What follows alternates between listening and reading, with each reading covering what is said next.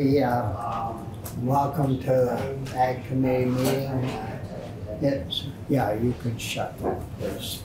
Um, So it's Wednesday, January 11th. We had a short meeting yesterday and uh, wanted to uh, invite the ag folks in uh, early on and see how things are going at the uh, agency and, uh, and, you know, what we need, to- there's something we need to help with or, or deal with, uh, we may as well get started on it. And, uh, so I think we'll run around the room, uh, Brian, uh, you want to start? Sure. Senator Collamore from the Rutland District. And Brian's a vice chair. Senator Irene Wrenner from Chittenden North. Senator Brian Campion, Bennington County. I'm Rich Westman, Senator from Lamoille. and Bobby Starr from Orleans County. And uh, maybe we could uh, do the same in the, in the room. Uh, You want to start? Sure, Senator. Uh, Morning, Ryan Patch, Agency of Ag. Uh, Obviously, I am the Agriculture, Climate, and Land Use Policy Manager. Good morning, Senators. Uh, My name is Stephen Dwinell. I'm the Director of the Public Health and Agricultural Resource Management Division. Good morning, Senators. Uh, Dave Huber, Deputy Director of the Public Health and Agricultural Resource Management Division at the Agency of Stephanie Smith, also, uh, same title as Dave Huber. Yeah, Nice to see you all today. yeah. Good morning, everybody. Uh, My name is Glenn Evans. I'm the director of the Vermont Ag and Environmental Laboratory. Hi, good morning. My name is Deanna Gage. I'm the Assistant Director for the Division of Water Quality. And hello, I'm Laura DiPietro. I'm the Director of Water Quality at the Agency of Ag. Yeah, and uh, we have uh, Diane. Oh, there's Diane. Diane Bothfeld, Director of Administrative Services uh, uh, with the Agency of Agriculture and Administration Division. Yeah, and EB. Good morning um, to all of our senators. Uh, I'm Evie Flory. I'm the Food Safety and Consumer Protection Division Director and also serve as our, our dairy section chief um, within that division. Yeah. Well, uh, thank, uh, thank all of you for coming this morning. Um, and, uh, we'll, uh, lead off this morning. Uh, the secretary, um, is away, I believe this morning, I had a farm meeting in Franklin County.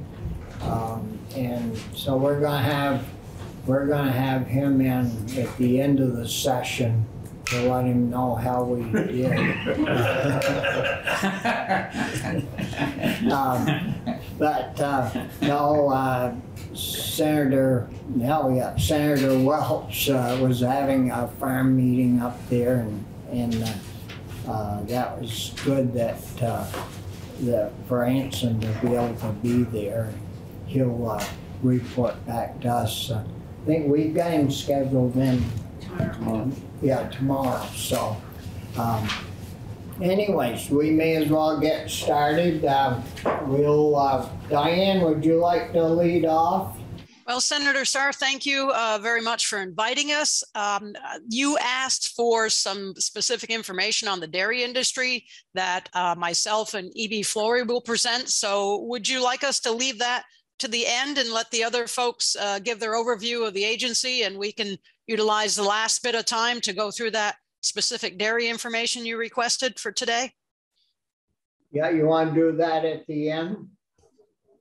Give more time for specific questions potentially? Yeah. Okay. Um, So I would, uh, I would encourage the folks in the room to, to go first and, and uh, uh, E.B. Flory and I would, would round it out at the end if possible. Possible. Yeah, that sounds like a plan. Yeah. Uh, So any one of you folks want to lead off? Uh,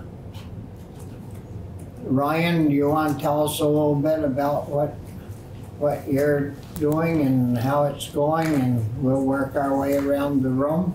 Mm, Yes, sir. I'd be more than happy to. I have provided uh, a brief set of slides um, with uh, uh, Ms. Lehman to share with the committee, and I will work to sign on to Zoom so I can um, share the screen up there so you can uh, see it. From the email, uh, we received, um, yeah, an update on um, ecosystem services would be related to uh, the payment for ecosystem services working group that was commissioned in uh, 2019 um, and has been meeting diligently ever since. Um, there was a pause for uh, COVID, uh, but the group got back together in 2021 and has subsequently met 28 times in the previous two years. So very active uh, group of members, and I will uh, stall a bit more to share my screen.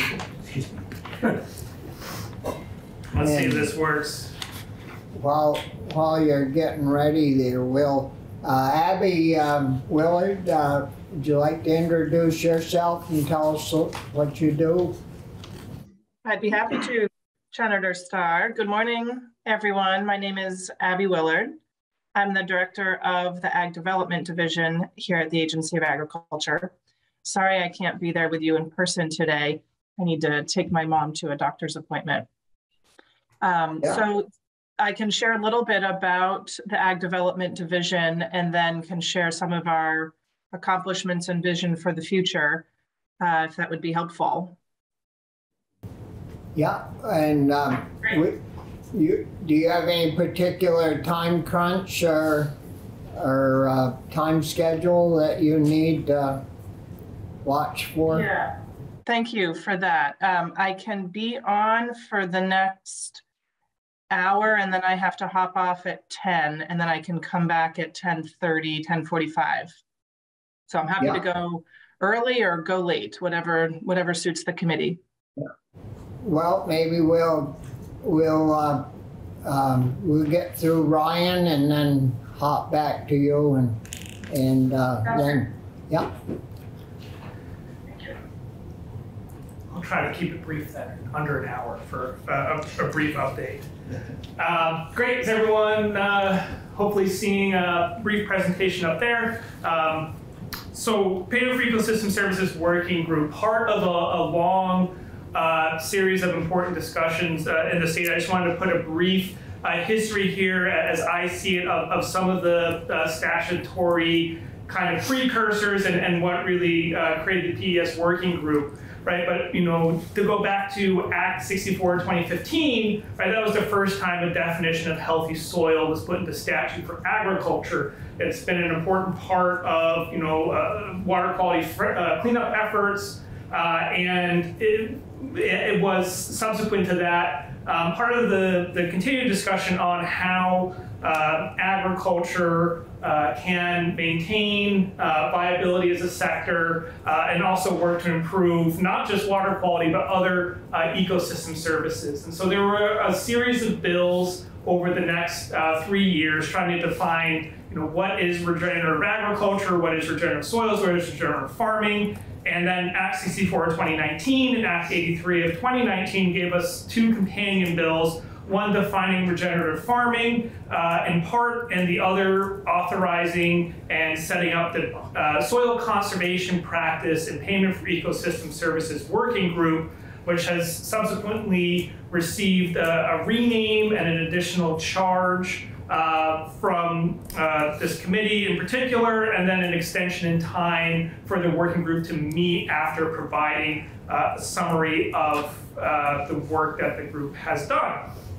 Uh, payment for ecosystem services or ecosystem services valuation was raised uh, by the, uh, the Farmers Watershed Alliance groups that exist in the state. Champlain Valley Farmers Coalition, the Franklin Grand Isle Farmers Watershed Alliance, and the Connecticut River Watershed Farmers Alliance. Uh, you'll recall the joint hearing uh, in the big room with the farmer watershed groups to articulate the progress they've made since Act 64 2015. This was in 2019, so it's been about three years of implementation uh, and how farmers can be uh, hired uh, to provide uh, additional benefit as one framework to look at uh, you know, how farmers manage their fields can have uh, deleterious or positive impacts on the environment and other ecosystem service outcomes. And so this, uh, you know, farmers stood up and said, we're, we're ready, we're ready to do more, uh, help set up a program to do this. And from that came uh, Act 83 of 2019, uh, which created the Payment for Ecosystem Services Working Group. Uh, the legislative purpose from uh, for the group as charged in the bill uh, was to establish a working group to recommend financial incentives designed to encourage farmers in Vermont to implement agricultural practices that improve soil health, there's that definition again, enhance crop resilience, increase carbon storage and stormwater storage capacity, and reduce agricultural runoff to waters. And you know, agriculture, in my view, is a, a very exciting sector because it is uh, a land use that can uh, both provide food as well as provide uh, those ecosystem service benefits at the same time. And you don't have to sacrifice one for the other, provided you're applying the right uh, types of management for the soils and the crops being grown. Um, but that can take a significant amount of, uh, you know, technical experience and, and specialized equipment depending on uh, the conservation practice or um, uh, crop being grown. And so this started that, that working group process. Um, Act 83, as I mentioned, was the original genesis. Uh, the group met five times during that time period, held some webinars. The discussion was very rich, and there was consensus about this is there's something here, but we need more time to research, study, and recommend the right framework for Vermont farmers. Uh, so with, uh, you know, the, the, group was grateful for the extension. Act 129 in 2020 changed the name, which is, you know, what's in a name? A name is important, right? The, the first one was Soil Conservation Practice and Payment for Ecosystem Services. Um, Vermont and has a very uh, rich history of pay for practice programs, right? A, a, a, financial assistance to implement cover crop as an example, up to 75 to 90% the cost of implementing it, very effective. This group wanted to take a more holistic look at farming and think about performance outcomes. Think about what are the performance standards we want to set for agriculture and how to incentivize farmers to reach them and provide compensation for when they achieve those standards that exceed uh, a particular threshold or, or environmental standard. So the name was changed to the Payment for Ecosystem Services and Soil Health Working Group as soil health was the focus and the foundation from which these benefits are derived. Looking at soil as uh, a living uh, interface, not just an inert media in which to stir it up, add fertilizer and seeds and grow stuff. It's a living um, organism and has to be stewarded as such. And so putting that concept of soil health front and center in the working group title uh, really set the stage for the conversations that were to come.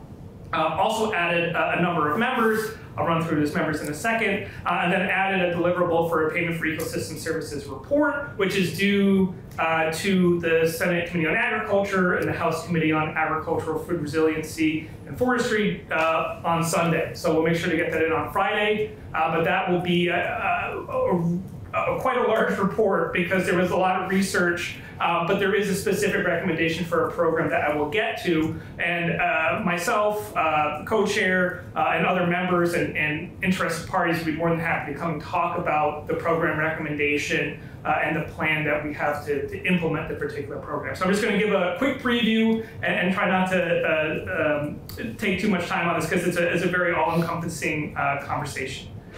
Um, we've shared two reports um, with you uh, okay, just takes a second. Gotcha. Um, we, we've shared two reports. One was an interim report, uh, or two interim reports really, um, that focuses on um, what we've learned and where the group uh, thinks are going. So those are just here for reference. Uh, there are 18 members on the working group representing um, a, a, multitude of different organizations and interests. Um, the, the, list of the members are, are presented here and we've had you know really committed participation uh, throughout this process. So this is a, a diagram that you'll see in a second that is one that we put up to try to describe well, what are we talking about when we talk about ecosystem services.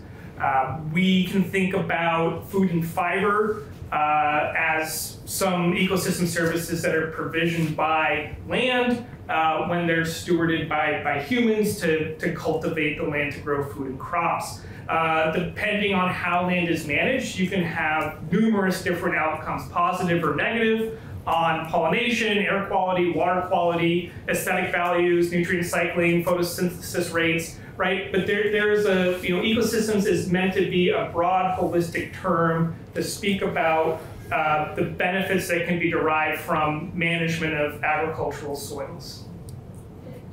Uh, the uh, General Assembly, and, this committee in particular, worked to appropriate a total of $1.25 million to this program uh, to deliver payments to farmers for qualified ecosystem services. And so what the working group has endeavored to do is provide uh, a recommendation and a program for how to do that. In total, the working group met 33 times since 2019, and that's not counting uh, the, the steering committee meetings or the subtask group meetings that were convened as a part of this group. So it was, it was very active meeting basically every other Tuesday uh, to really dig into a lot of these questions.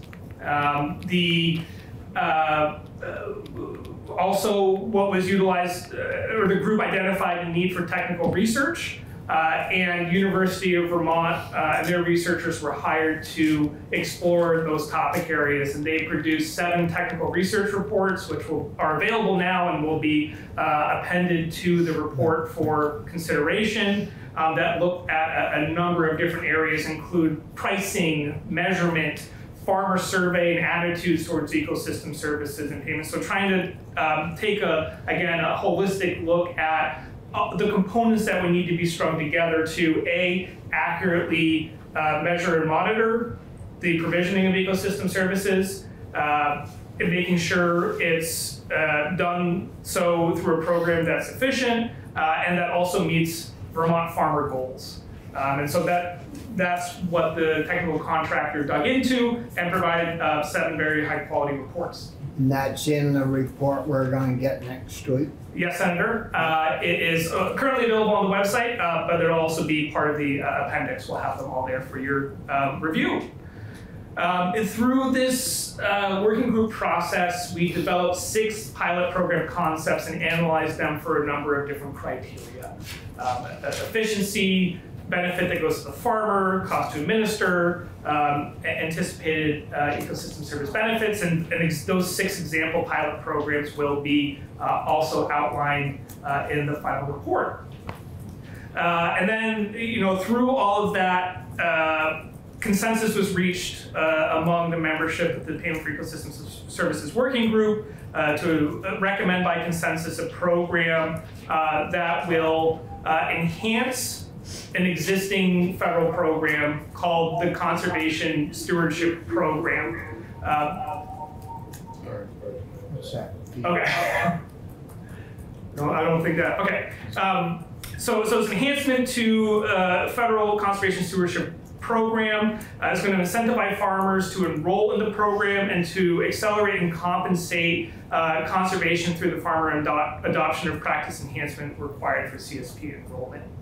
Uh, the program is going to be a threshold-based program, uh, and it's going to use the Federal Conservation Assessment Ranking Tool uh, for the assessment. It's going to pay to plan to get into the program, and it's going to provide upfront incentive payments for implementation as part of the program. It's not going to focus on one specific resource concern at this time, but rather it's going to provide farmers flexibility within the confines of that program to address the enhancements and resource concerns that they most need to address. And it's going to provide, uh, and continuous improvement is going to be an important part of this program, including an end of first year review uh, to look at how it's working for uh, farmers and, and, what's being, um, uh, what the benefit is from the program. So at the end of the five years, it's a five year program, right? So at the end of the five years, are you going to do soil analysis or all during those five years to see if soil's actually improving and retaining more water and less phosphorus and the measurement component of this program is going to come in in phase three.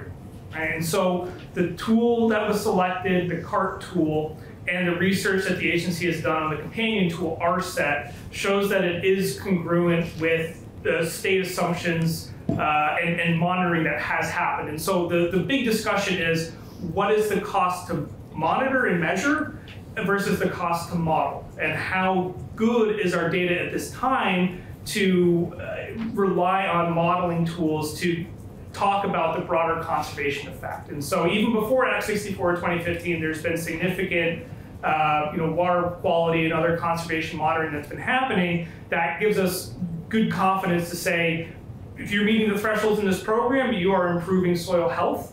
Uh, further research within the CART tool to say exactly how many tons of CO2 are abated uh, across a whole farm uh, or how many pounds of phosphorus or pounds of nitrogen are, are reduced as part of loss is something that will come in phase three of the program. But each individual practice that is implemented through CSP will be reported to DEC and part of the state water, state clean water reporting uh, framework. And so those specific practices will be counted as the whole farm assessment um, that directionally now is congruent with improving water quality and soil health. Those specific outcomes on a whole farm basis will take more time uh, to build that, that assessment framework. And, and, so what you see on the board is, is confusing and, and, and detailed, but this was the output of the, yesterday was the last meeting of the Ecosystem Services Working Group, and this was the flow chart that was agreed upon for the program and how it's going to operate. Um, what's conceived here is uh, you know the need for additional technical assistance. It was articulated that there is more need for uh, you know agronomy professionals and conservation professionals to work with farmers to help support them to apply and enroll in the conservation stewardship program. And so that is what's one part of the proposal is to fund uh, that uh, effort. Um, and then there is within the CSP program an acknowledgement that the planning that you need to do is significant before you can even get into the program. And so similar to the state's pay for phosphorus program or pay for performance program, providing uh, a planning incentive payment. So when you complete planning, uh, you are there's an incentive for doing so, and there's an explicit off ramp because the standards in this program are such where not every farm will qualify for CSP. And so if you go through the planning process, and let's say your farm needs to implement some cover crop or do, do some more crop rotations or work on that for a couple years, there's an off ramp for programs, whether it's through NRCS, the state programs, or other technical financial assistance programs to support them to come up to the standards so that they can then enroll in the conservation stewardship program. Um, the next part is once they're accepted, they have to come up with a conservation plan to plan out five years of management rotation. That's a, a long time on farms that can get really complicated. And so as uh, an enhancement to, uh, or an incentive to do this work, the program proposes to provide both a contract incentive payment uh, for doing that planning and getting to contracting, as well as to provide an upfront practice incentive payment. Uh, you may have to implement practices, or you do have to implement practices across your farm, not just in the cropland, to be eligible for CSP. And so this can provide some upfront funding to support them to implement those practices. In addition, NRCS also has program payment. So that is the bulk of the payment is going to come from the federal side in their conservation stewardship program. This, like many state programs, is working to kind of fill the gaps that have been, have been identified for Vermont farmers and how we can leverage that existing federal dollars and provide uh, an incentive uh, payment for uh, to, to, get, to get farmers into the um, so as I mentioned, this what's been discussed is a, a phased um, uh, program rollout. Uh, what we just looked at was phase one. Uh, big part of the charge as well as the goals of the working group are to next look at specific resource concern categories. So digging more into soil health, digging into biodiversity questions, digging into uh, explicit water quality considerations. Um, that is uh, an area that uh, there are uh, potential grants available in NRCS that the state or other partners can apply for. uh, to bring in additional funding to support emphasis and reward for meeting particular resource concerns um, that are uh, uh, quantified within the CSP program. Go ahead. I've got to check out at nine thirty for a meeting, so I'm just curious, do we have a, when I think about schools in terms of education policy, which is my own committee, I always think, all right, you know, this percentage of schools, things are going well, these are the schools that we really need to focus on. Do we have a sense of the number of farms or percentage of farms that you feel are sort of moving in this good direction already with soils? And, you know, do you have a sense of, you know, farms that, you know, really, we need to sort of help them and focus on them? Is, that sort of how you approach some of this stuff sometimes? Just help me as a Yeah. new member, yeah. A- absolutely. So we you have all sides of the spectrum that have shared comments about this. I've been doing this all along. I don't have to do anything more. Yeah. Why am I never eligible for programs? Because you got to have a problem to fix it. Is a is a common refrain. Okay. And so acknowledging that there are those stewards, those farmer stewards that have been doing this all along, and there are those that, for example, are are doing good work, are meeting standards, but can do more. And so the CSP program is a good fit for those that have gone through the process of doing the regulatory compliance side, right? Meaning the meeting T, uh, tolerable soil loss, um, you know, complying with crop rotation, nutrient management standards. Like those are the type of things I, I would expect from a farm to be able to be eligible for CSP. And then of course you have the non-compliant farms, which still need to do even baseline work to get into compliance with the environmental standards that Vermont has set.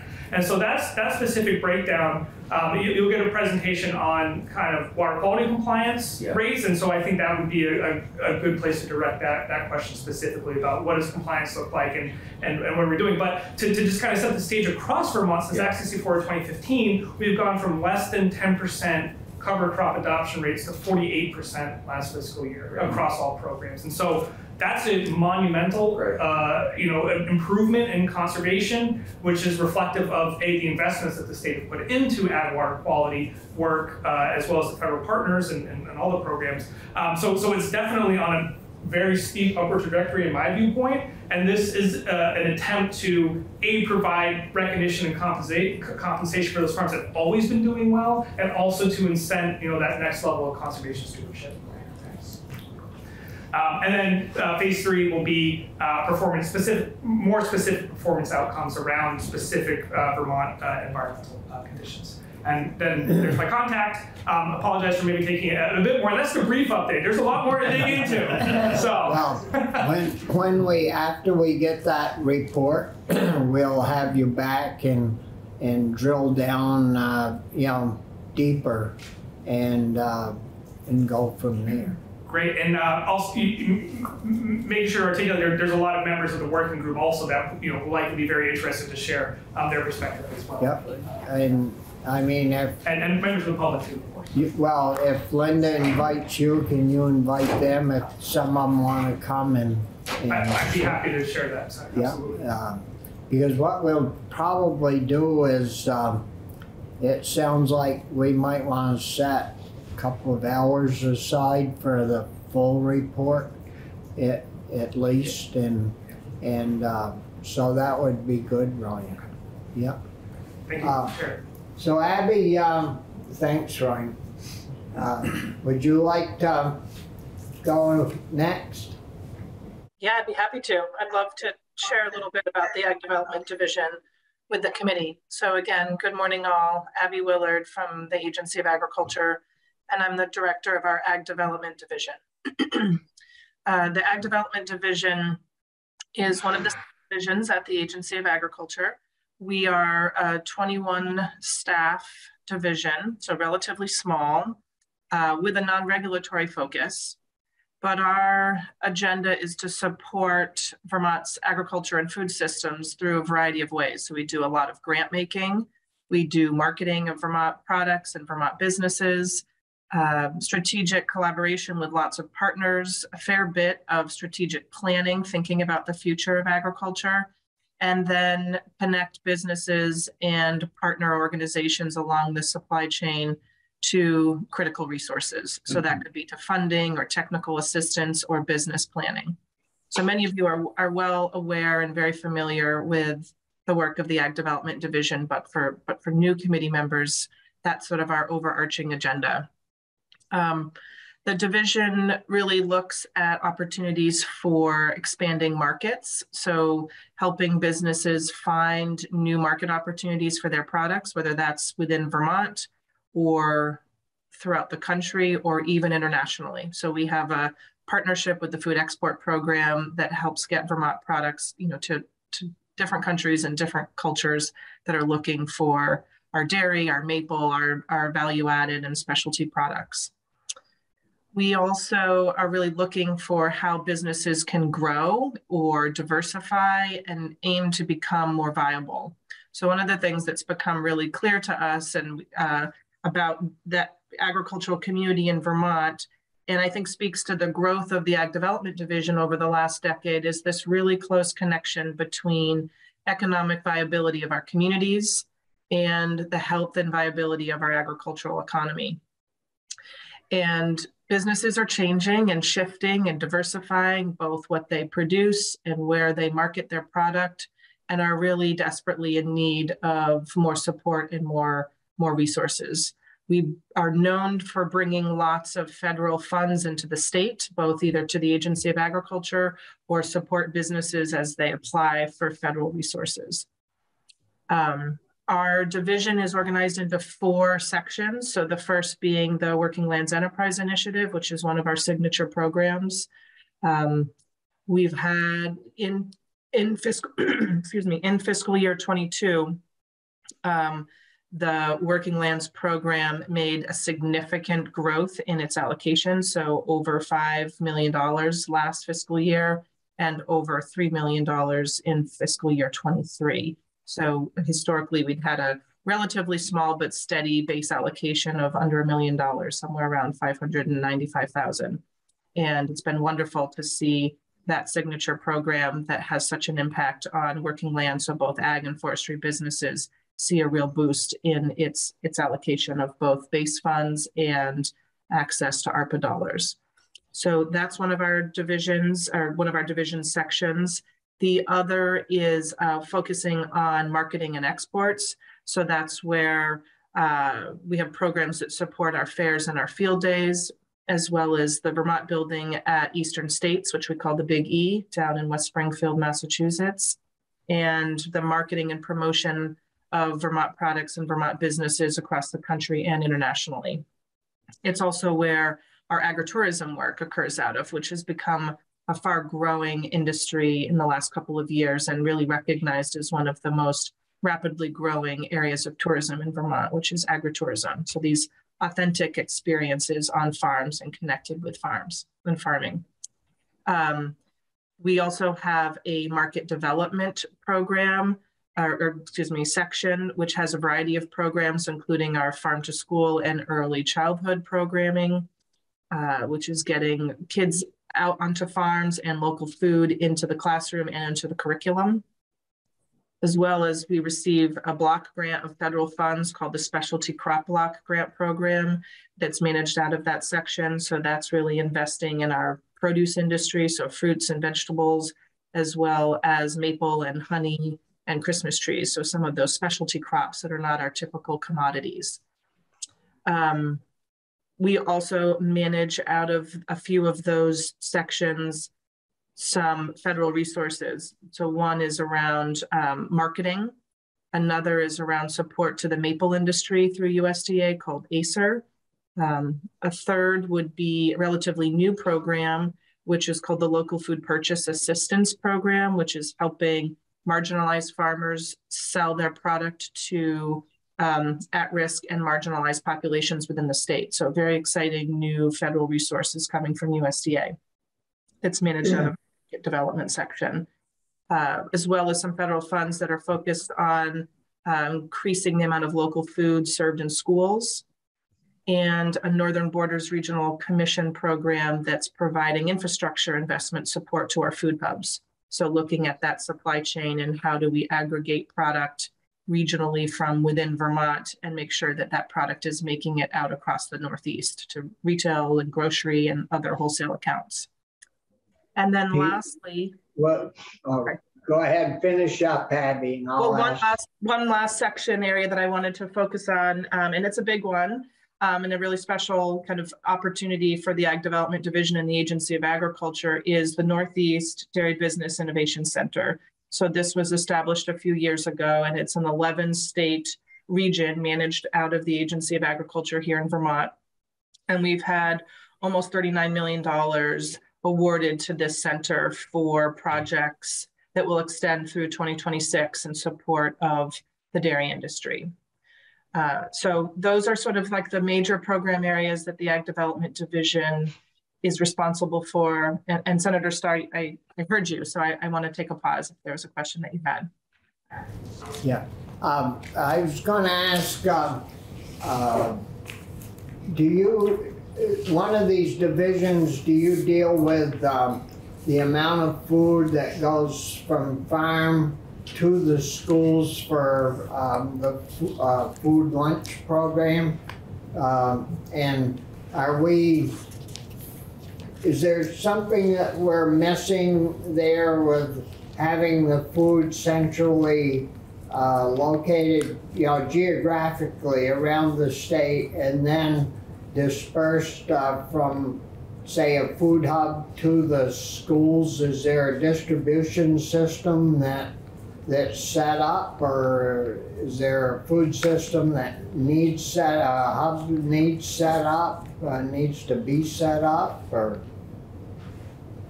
It's a great question, Senator Starr. I, we've been working on what we call farm to institution, which has been getting local food to K through 12 schools, to colleges and universities, into our healthcare systems and into our correctional facilities for 10 plus years.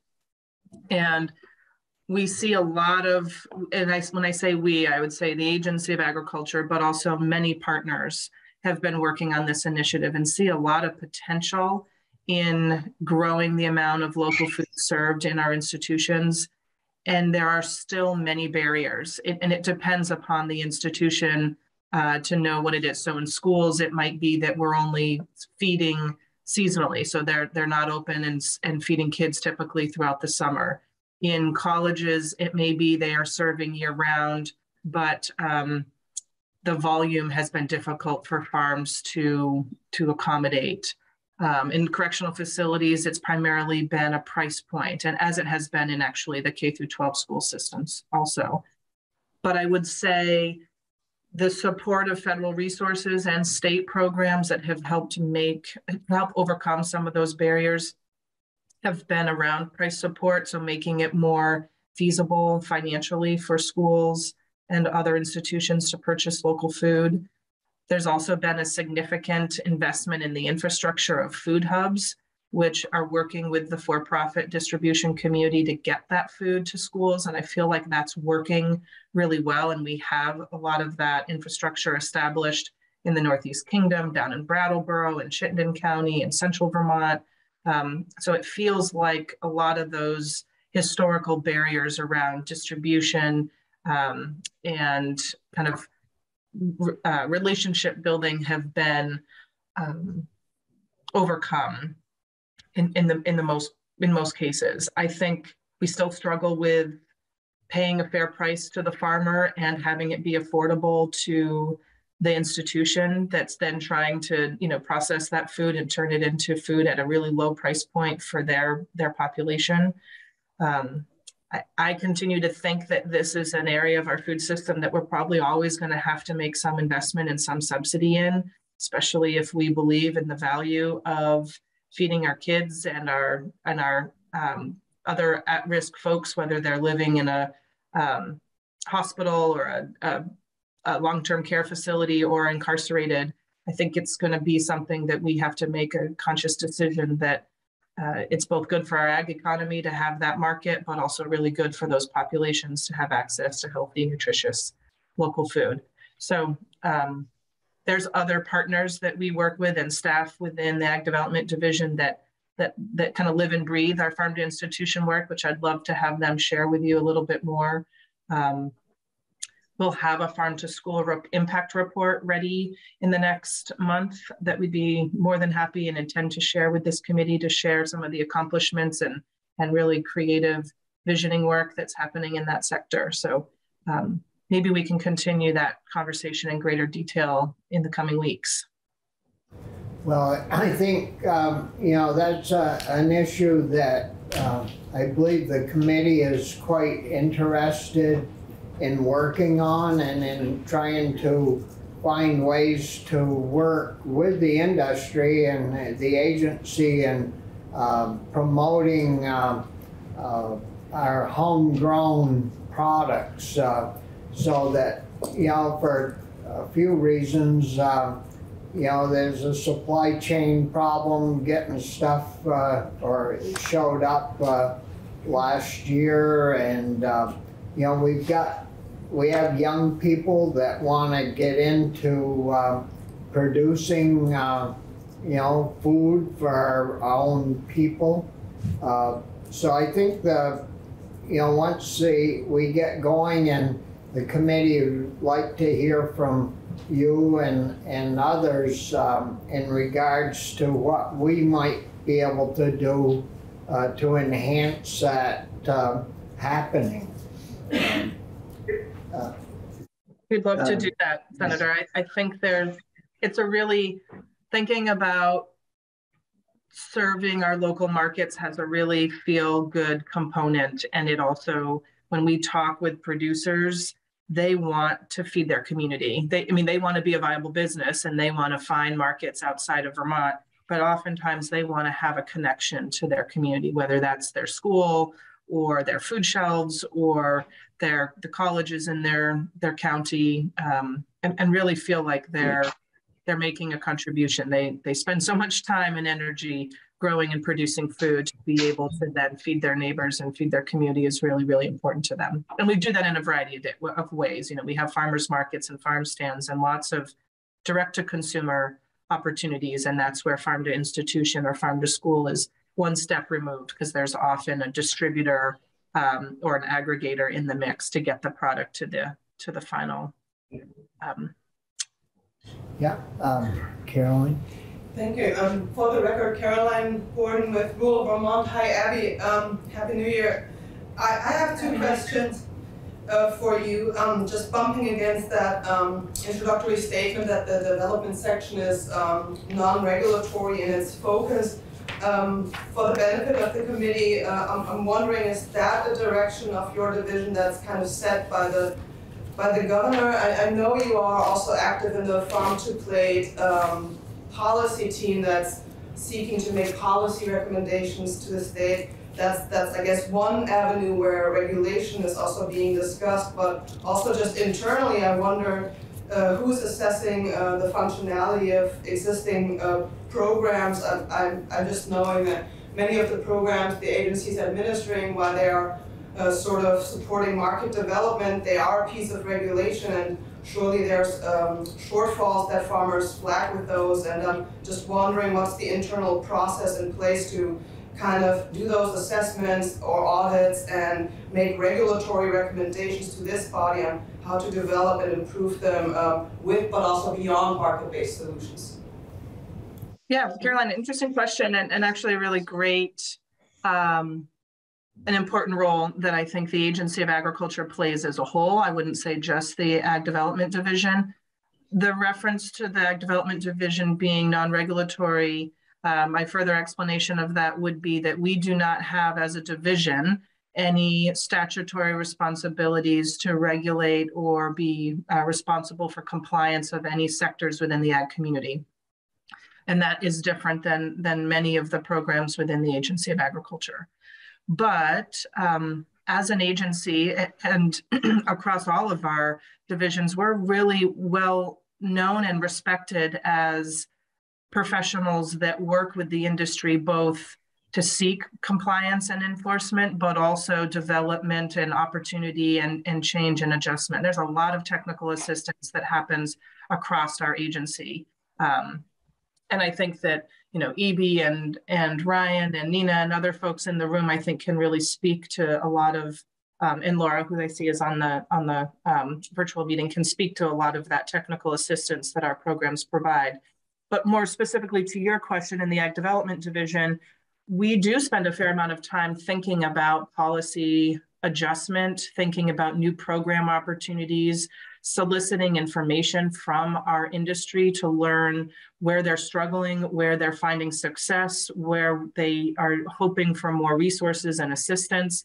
And we do that in a variety of ways. We've done that in surveys. So we do an annual where we're just beginning um, to have our second annual survey of the meat slaughter and processing community that are both the federally and state inspected. Um, slaughter and processing facilities to understand what their challenges are, what their hiring and vacancy challenges are, and where resources could be valuable to them around their infrastructure.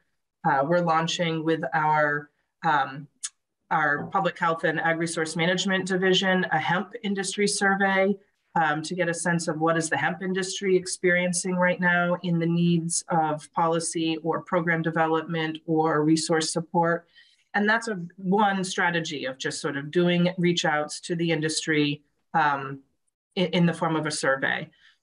We also worked diligently with the um, Vermont Sustainable Jobs Fund two years ago during the pandemic in creating the Ag and Food System Strategic Plan. And I believe that this committee will have an opportunity, hopefully in the coming, um, I think on Friday even, to hear from Ellen and Jake about the Ag and Food System Strategic Plan. And you'll hear about the you know 1,500 different Vermonters that were a part of that plan and all the effort that was put into thinking about the priority recommendations for enhancing the viability of agriculture in our food system.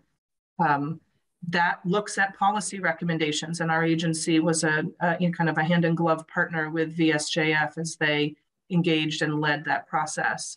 Um, the governor established the Future of Ag Commission through executive order two years ago, and that 12 member commission spends significant amount of time. So they meet at least 12 times a year and address and learn and think and strategize around what are some important opportunities and programs and policy and investments for the future of agriculture. So they submitted a report to the governor's office this past November and the previous November. So the 2021 plan submission is public and available on our website, and I'm happy to share it and use it as a as a you know kind of a talking points for where we found opportunity in the in the ag community and hopefully you know following the governor's budget address I, I, suspect that that report from november of 2022 will also be released with a um, kind of like a further enhanced set of recommendations uh, that came out of that commission's work. So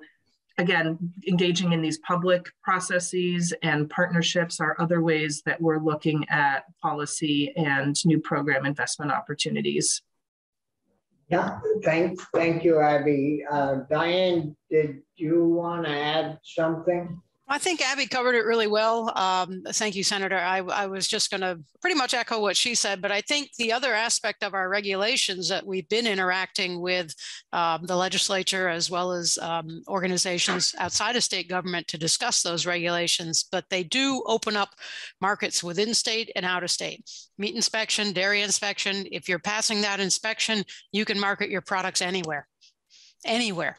And so it's not, you know, so that those are important aspects as well for those who want to market within state, but also out of state or internationally. So the the regulations that we have and that we um, have in our regulatory aspects also open markets uh, within and beyond state borders and also beyond our international borders. So those are important as well for, for folks who want to market at that scale. Yeah.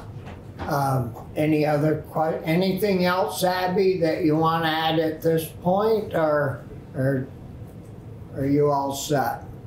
I think I'm I'm all set. I I would just actually maybe I guess two additional points. I just to give a con, some context. Um, the Ag Development Division last fiscal year awarded over $10.4 million in grants and contracts through about a dozen different programs to our ag community. So just to give you a sense of the amount of money that's both coming into Vermont and that this you know, this body, the legislature has been um, involved in bringing resources to our ag community has been really appreciated. When I looked at um, the Future of Ag Commission uh, kind of action plan from last year, I think there was over three and a half million new dollars that came to the Agency of Agriculture and the Ag Development Division, and then an additional five plus million that came in the work that, that Ryan Patch spoke of. So payment for ecosystem services and climate smart.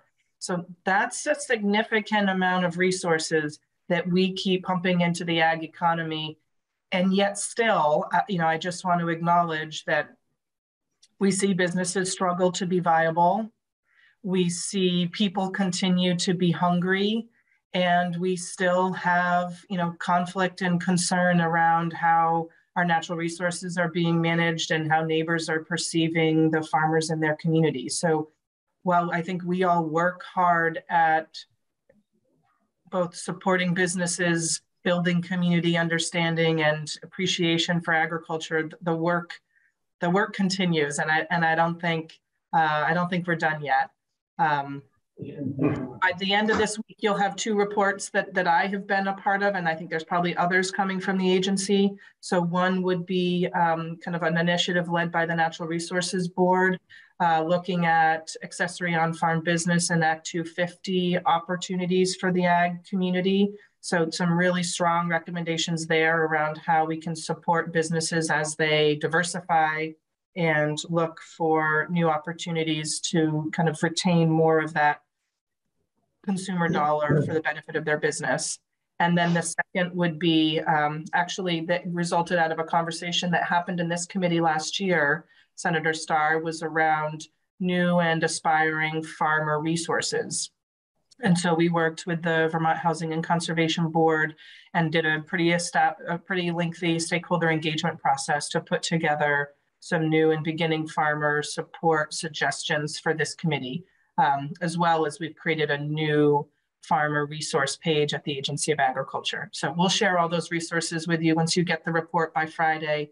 Um, it may make sense to, to come in and speak to those, those opportunities very specifically.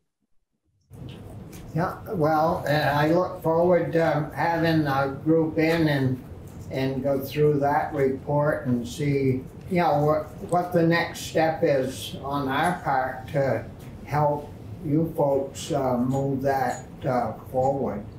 Um, Great. Any other questions for Abbey from the committee? Well said, now. Uh, thank you, Abbey. Appreciate it. Thank you very much. Nice to see you all. Yeah. Um, so who would like to go next? Yeah. Yeah, uh, thank you, Senator. Uh, my name is Stephen Dwinell. I'm the, uh, as I said before, I'm the director for the Public Health and Agricultural Research Management uh, I'm new to the agency and to the state, moved here in July from Florida. Um, after moving here, was I was working in private industry at the time. I was contacted about this position. You know, some of you all may know uh, Cary Giguere. He was the director. He's one that actually contacted me and said, "Hey, this position's coming open." And I applied and was selected. And I'm so very happy to be here. You took uh, place, or? Yes, sir. Yes. Trying to take his place? I am never going to be able to take Cary's place. In fact, yeah. we still talk to Cary all the time. But um, uh, my background, just for context, I'm an entomologist um, specializing in integrated pest management and agricultural pest management, structural pest management. Worked in private industry and conducting environmental fate studies and in uh, the structural pest management industry, but also was with the Florida Department of Agriculture and Consumer Services for about 30 years, doing administering pro very similar programs, the fertilizer program, the seed program, the feed program, the pesticide program, the structural pest management, and the mosquito control program. Yeah. So got a lot of similar experiences. This division, and just to, you know, for the, for the new members, and just to put it in context again, this division is a small division. We have 19 full-time employees and seven seasonal but we're responsible for 13 statutes and all the associated rules in program areas uh, feed, seed, fertilizer, pesticides, pest management activities, mosquito control, um, uh, apiary, apiary industry. Uh, we also, the public health portion of the of the division revolves around the mosquito control activities, but also we, we uh, have a program to survey uh, for arboviruses uh, both transmitted and arboviruses, this are arthropoid viruses, and other diseases, and that's for mosquito, in mosquitoes and in ticks. So we have a surveillance program and a mosquito surveillance program. That's the, the seasonal part. One thing I forgot to mention in our, our list of responsibilities is the nursery industry and the, the plant production industry for uh, landscaping, and uh, that's a big part of it, and becoming a more important part of what we do.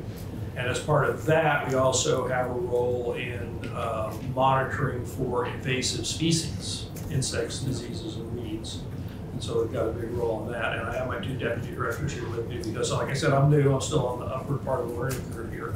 And so I'm glad they're here and they can uh, talk about individual, you know, their, their parts of their program in more detail, which I'll do in a minute. But the one thing I wanted to mention for the committee is the activities of the Agricultural Innovation Board, Yeah. which was an important committee that was established uh, in 2021 and started their work in 2022.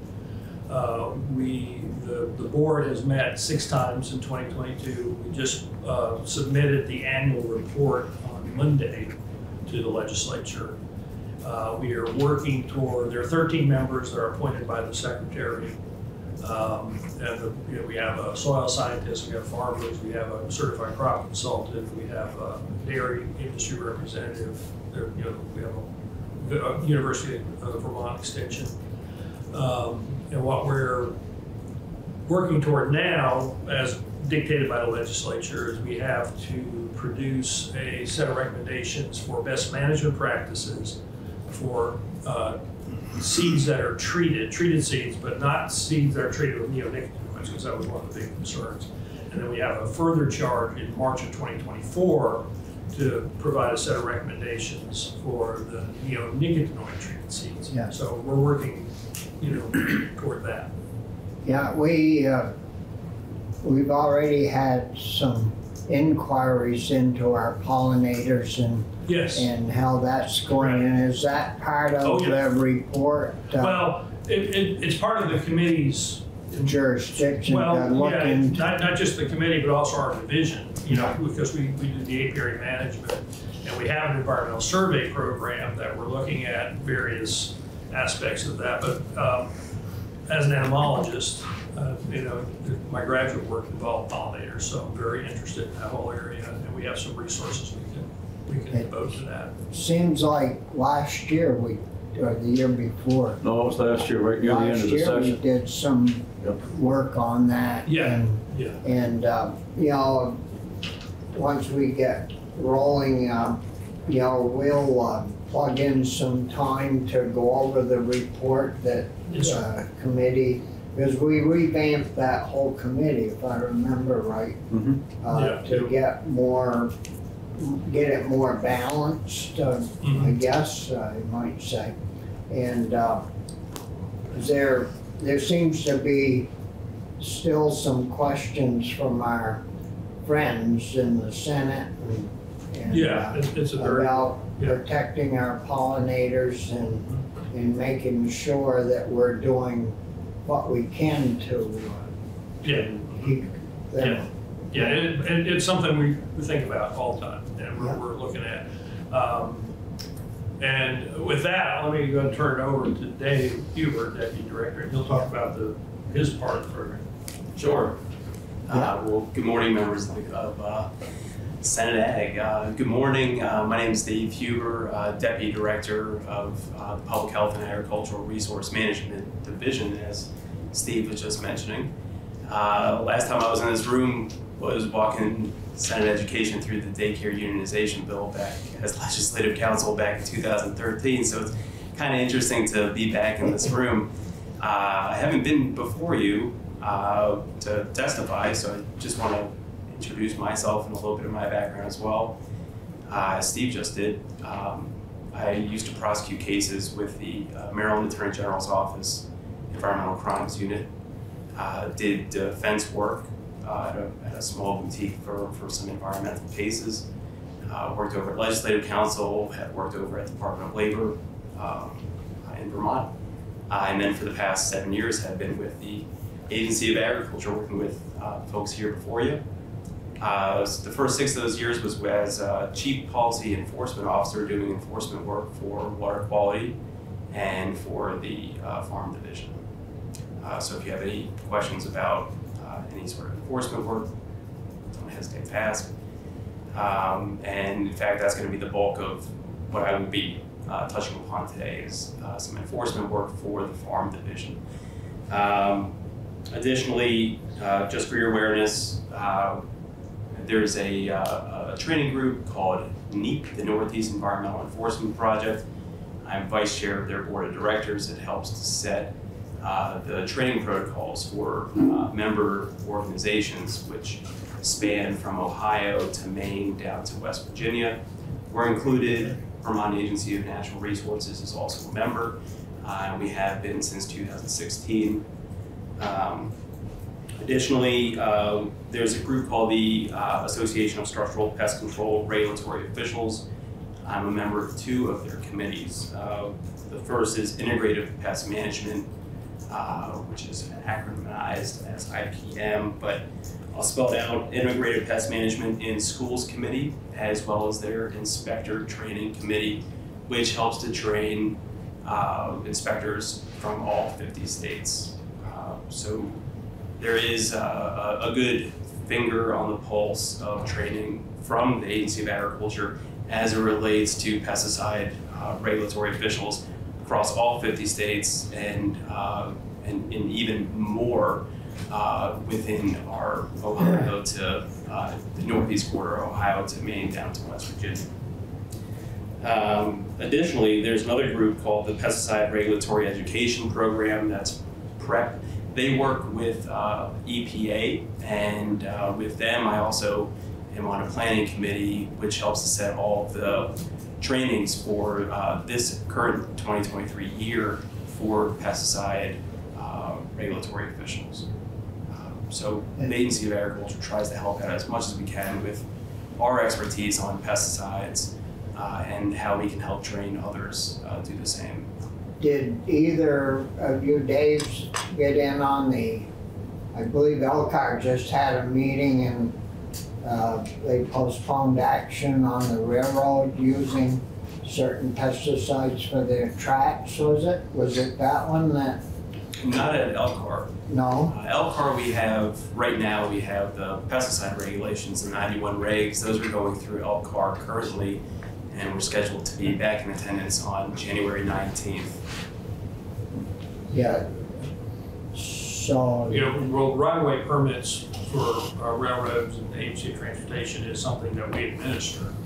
Uh, that involve, you know, we put restrictions on the materials that can be used. If, if, I- I'm not aware of another hearing on that, but if we can find, we'll certainly look into it. I mean, obviously, if you're interested. it seems as though I read something, you know, they, they spray the Yeah. tracks so that the grass doesn't. And seems like they ran into a snag uh, the, Uh, We'll we'll certainly look into that, that that definitely, we, we just act- actually had I think it Meeting was with maybe uh, ANR that was Okay, questioning uh, some parts of it. okay, well, we'll, we'll definitely look into check that out. Yeah, yes, sir, sure, thank you. And, uh 'cause they, they like, uh, ANR likes bullying in on ag stuff as much as they can. sometimes. Yeah, we'll definitely look into that. Um, Sure. The, uh, so are there are other questions for either Dave or Dave or I'd like to, Steve. I'd like to go into a, a little more detail if you like. Sure. Uh, otherwise, I'll pass the baton.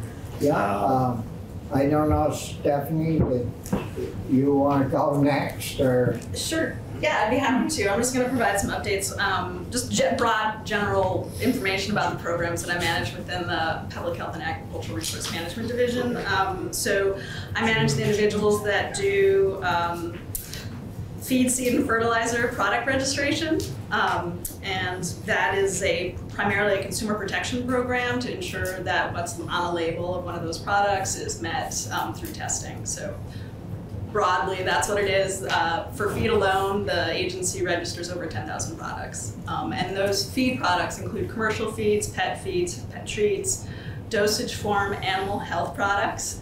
Um, and I can't remember the other one, but but so but it's a wide variety of products that the agency um, registers. Again, also fertilizer, which includes soil amendments, plant amendments, plant biostimulants, uh, and fertilizer products. Um, and we do testing. We take samples. So the field agents that Dave manages um, go out into the field, take samples of these products. And then we take them to the Vermont Ag and Environmental Lab, situated between the people on which the chain moves.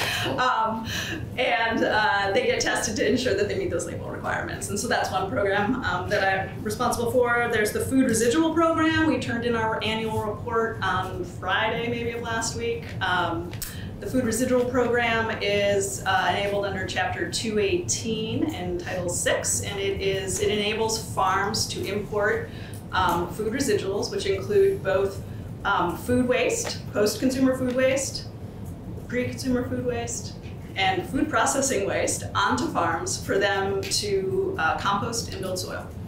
Um, we Can I ask you a quick question regarding this while she's chatting?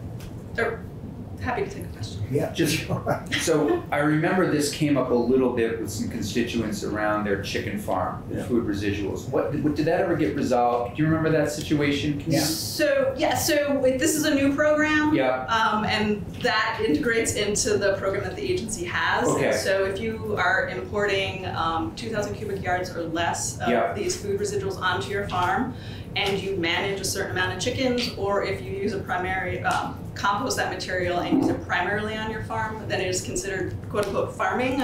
Okay. Um, and that is a part of the uh, definition, integrated with the definition of farming within the RAPs. Thank you, sorry Yes. that's helpful. So yes, um, and so we are, we haven't gone through rulemaking yet for this program. Um, we're still taking in information. So uh, in the middle of 2022, we hired a new individual to help us um, do this work, and thankfully that was part of 2022 budget. So we have that individual. Um, we have, we are no, we know approximately 15 farms that um, engage in this process of varying scales.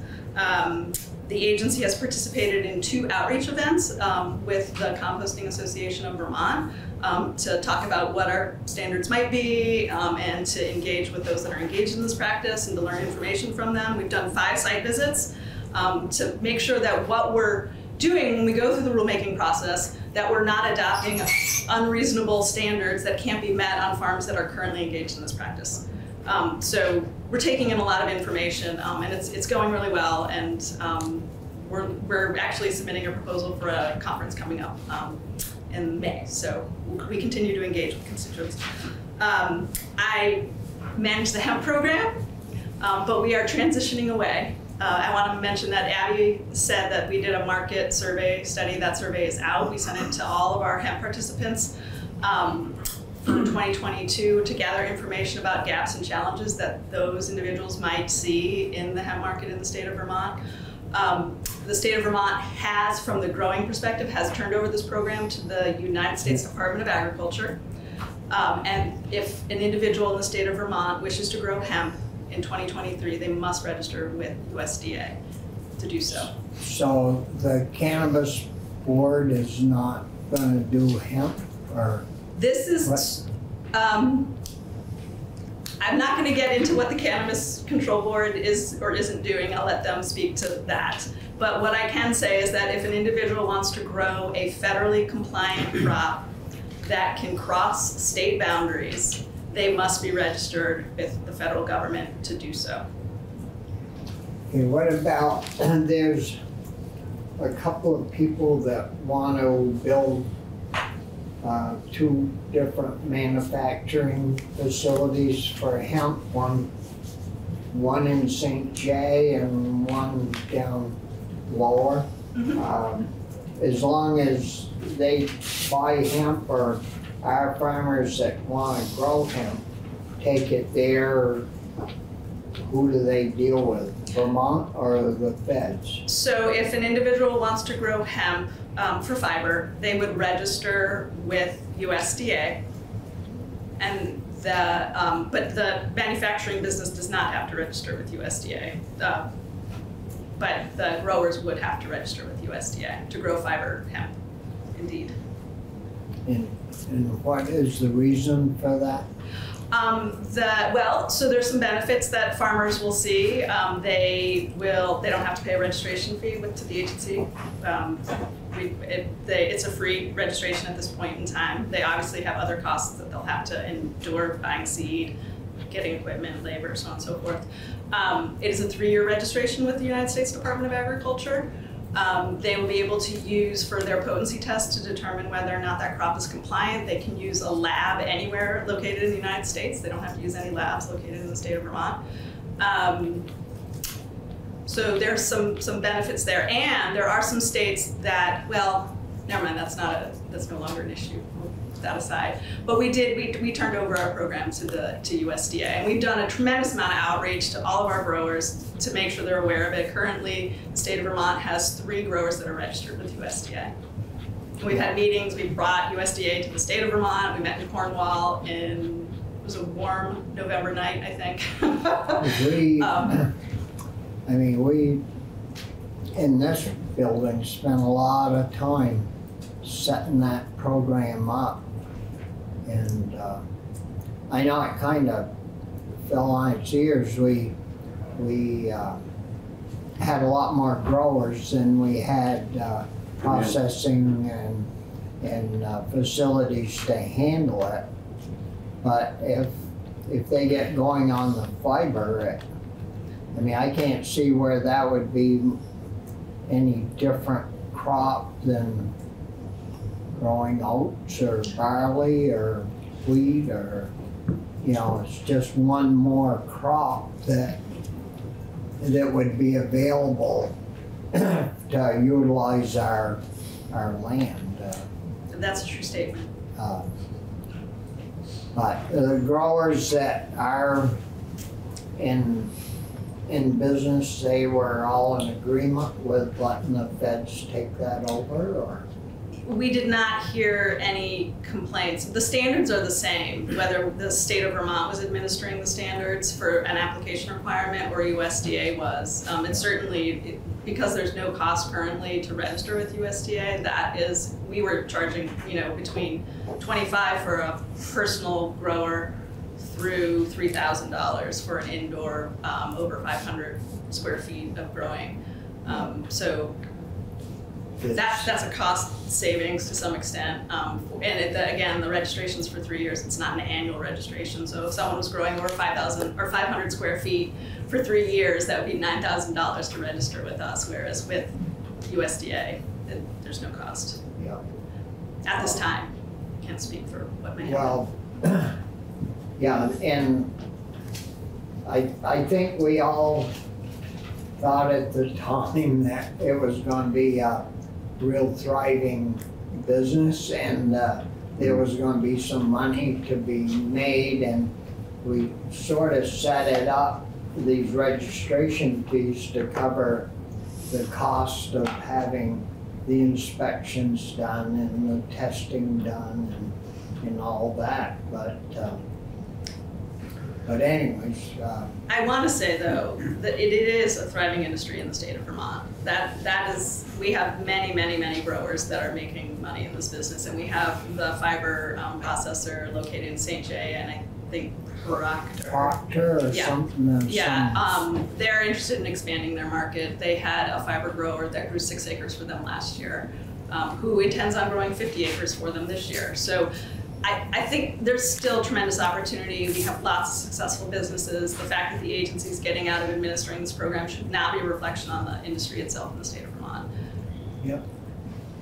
Uh, other, anything else? Um, the nursery program that Steve mentioned, I'm not going to go into that again. It, um, it, that we, we manage nurseries and we ensure that invasive pests um, are, don't get treated. um, and then the pesticide certification and training program, as well as pesticide registration.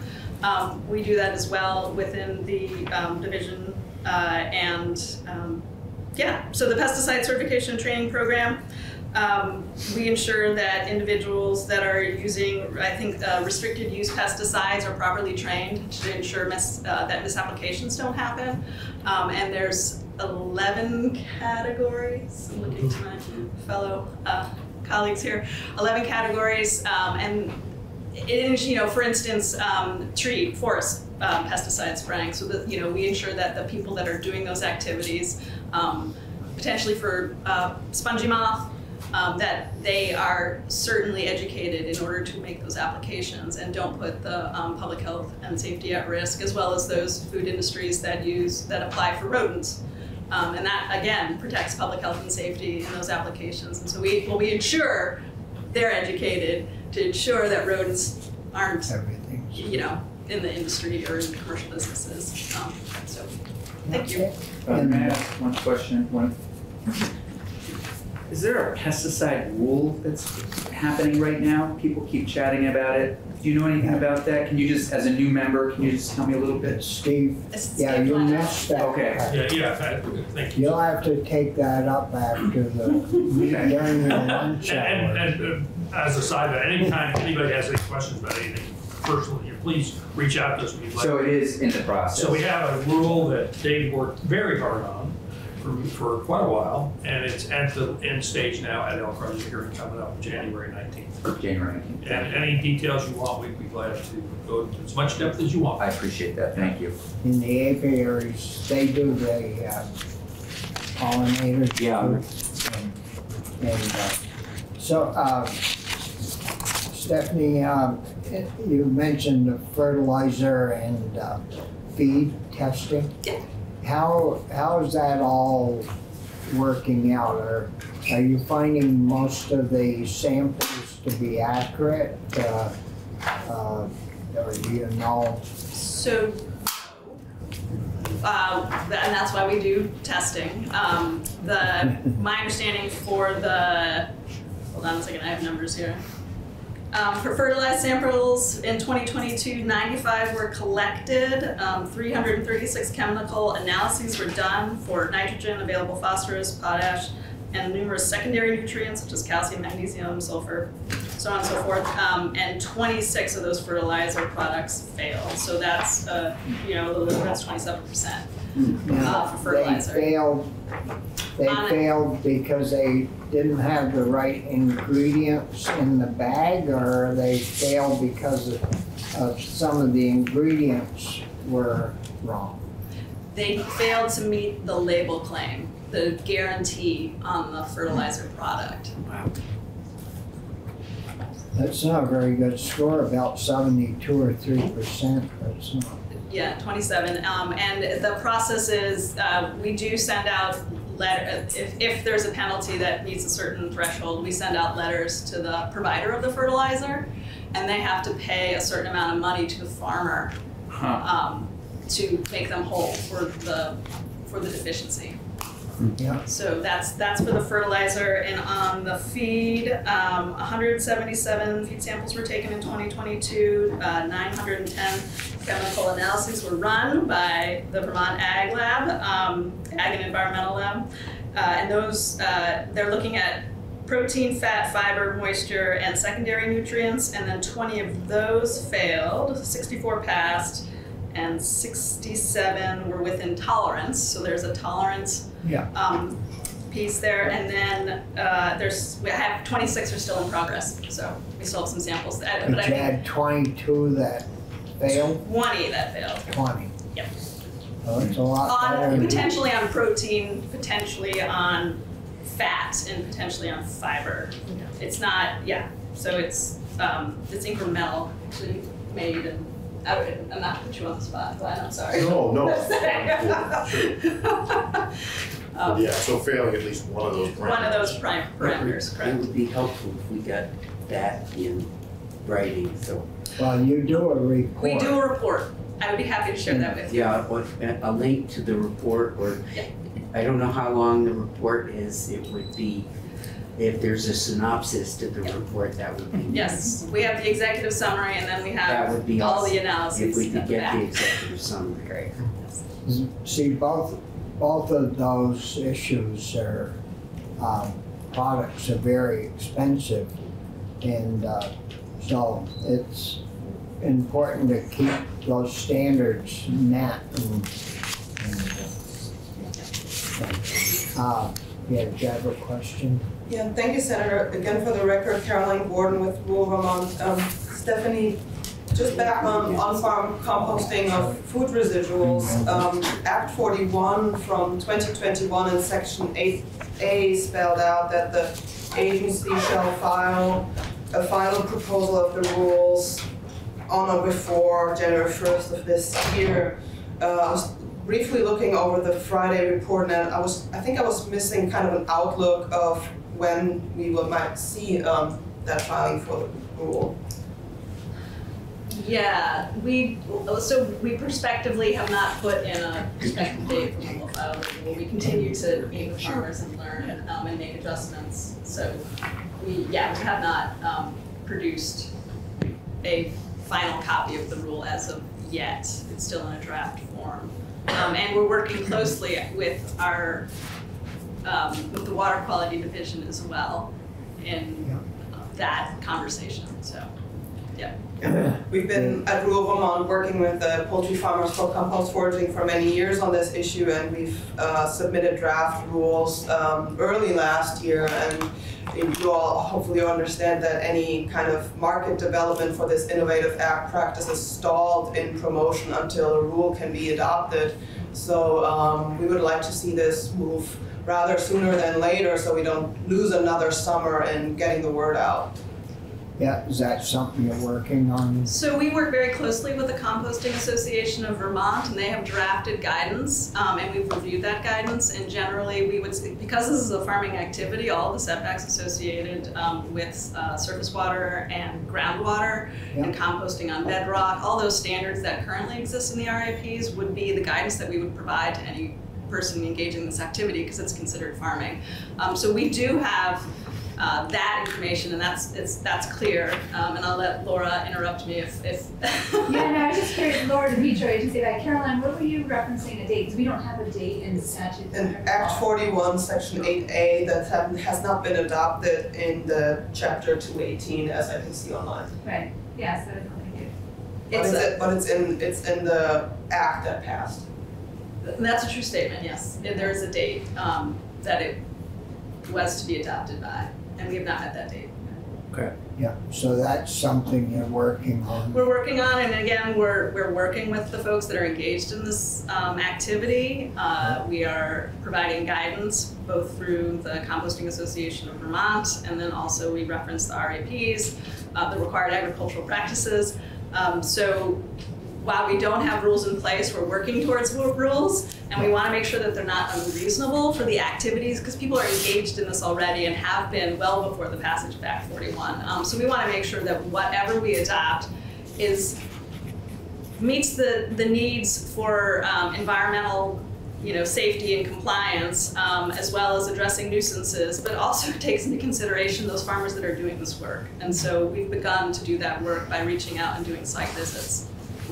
So we're active. I want to say that we are in there. we're talking to people. Well, Um, yeah. So thank you. I know the last couple of years, things have been crazy to try to get done and meet and, and, uh, with the pandemic and everything, but, um, but overall, the composting situation is working quite well Folks, so the small farms. We have approximately 15 farms that are engaged in this activity. Um, at least four of them have actual certifications from the Agency of Natural Resource. Um, uh, so they have standards built into that certification. Um, and then we also, we have a list of smaller farms that are engaged in the activity and a majority of them are actually composting and they're not selling into the marketplace. They're just building soil on their own On their farms. own yeah. farm. Um, and they're fairly small, but Yeah. It- we're out there, we're talking to them, and we're, we're gathering information, um, and hopefully it will address their challenges and assist in their development, so. Yeah. Yeah. Um, so anything else, Stephanie? No? Um, I think probably before we start our, uh, next, uh, witness, committee, we should take a little break, maybe? Sure. Uh, ten minutes or, and, and, uh, you know, if you wanna get up and walk around or whatever. Uh, so we'll come back, uh, twenty-five hours close to it. Yeah, thank you. Thank you. You ready to roll, Glenn? Wonderful, yeah, no, thank you for your time, senators. Uh, So I have a couple, uh, just two short uh, slides here, so let me just share my screen here for a moment.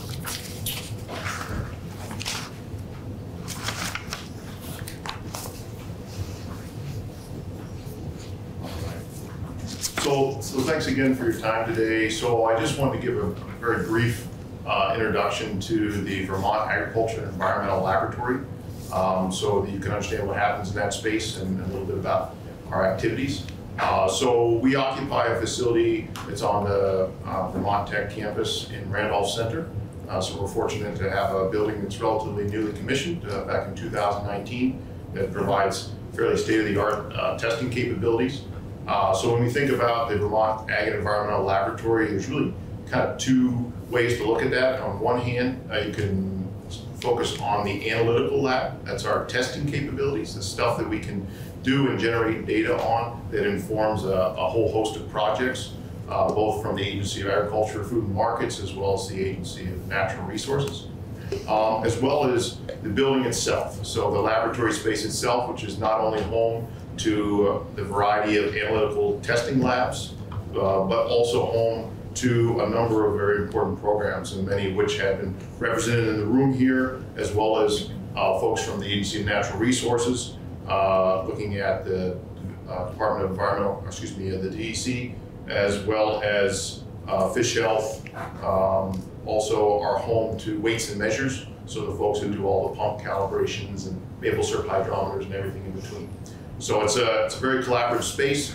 Um, it's a very engaging space to be in. And as long as our steam is functioning, uh, we're able to do a lot of good work. Um, so just a little bit about the lab and some of the activities that happen specific to the, the analytical spaces. So we run over 30,000 analytical tests a year. Uh, we have a staff of 14 full-time employees, and uh, we're approved uh, with over 100 different testing methods. And so we have a really broad spectrum of testing capabilities.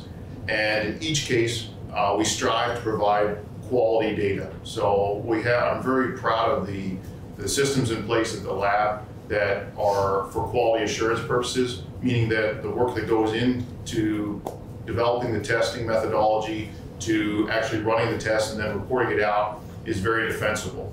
So it's, it's robust, it's reliable so that that data can inform uh, good action.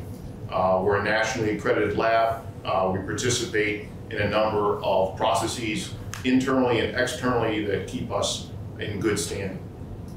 So some of the different testing activities that we do on a day-to-day -day basis at the lab include work with uh, milk and dairy products. So this is everything from uh, product quality as well as consumer safety. So looking at antibiotics, looking at bacteria, looking at uh, pasteurization, looking at milk fat content. So a wide array of parameters, again, from a quality or a safety standpoint.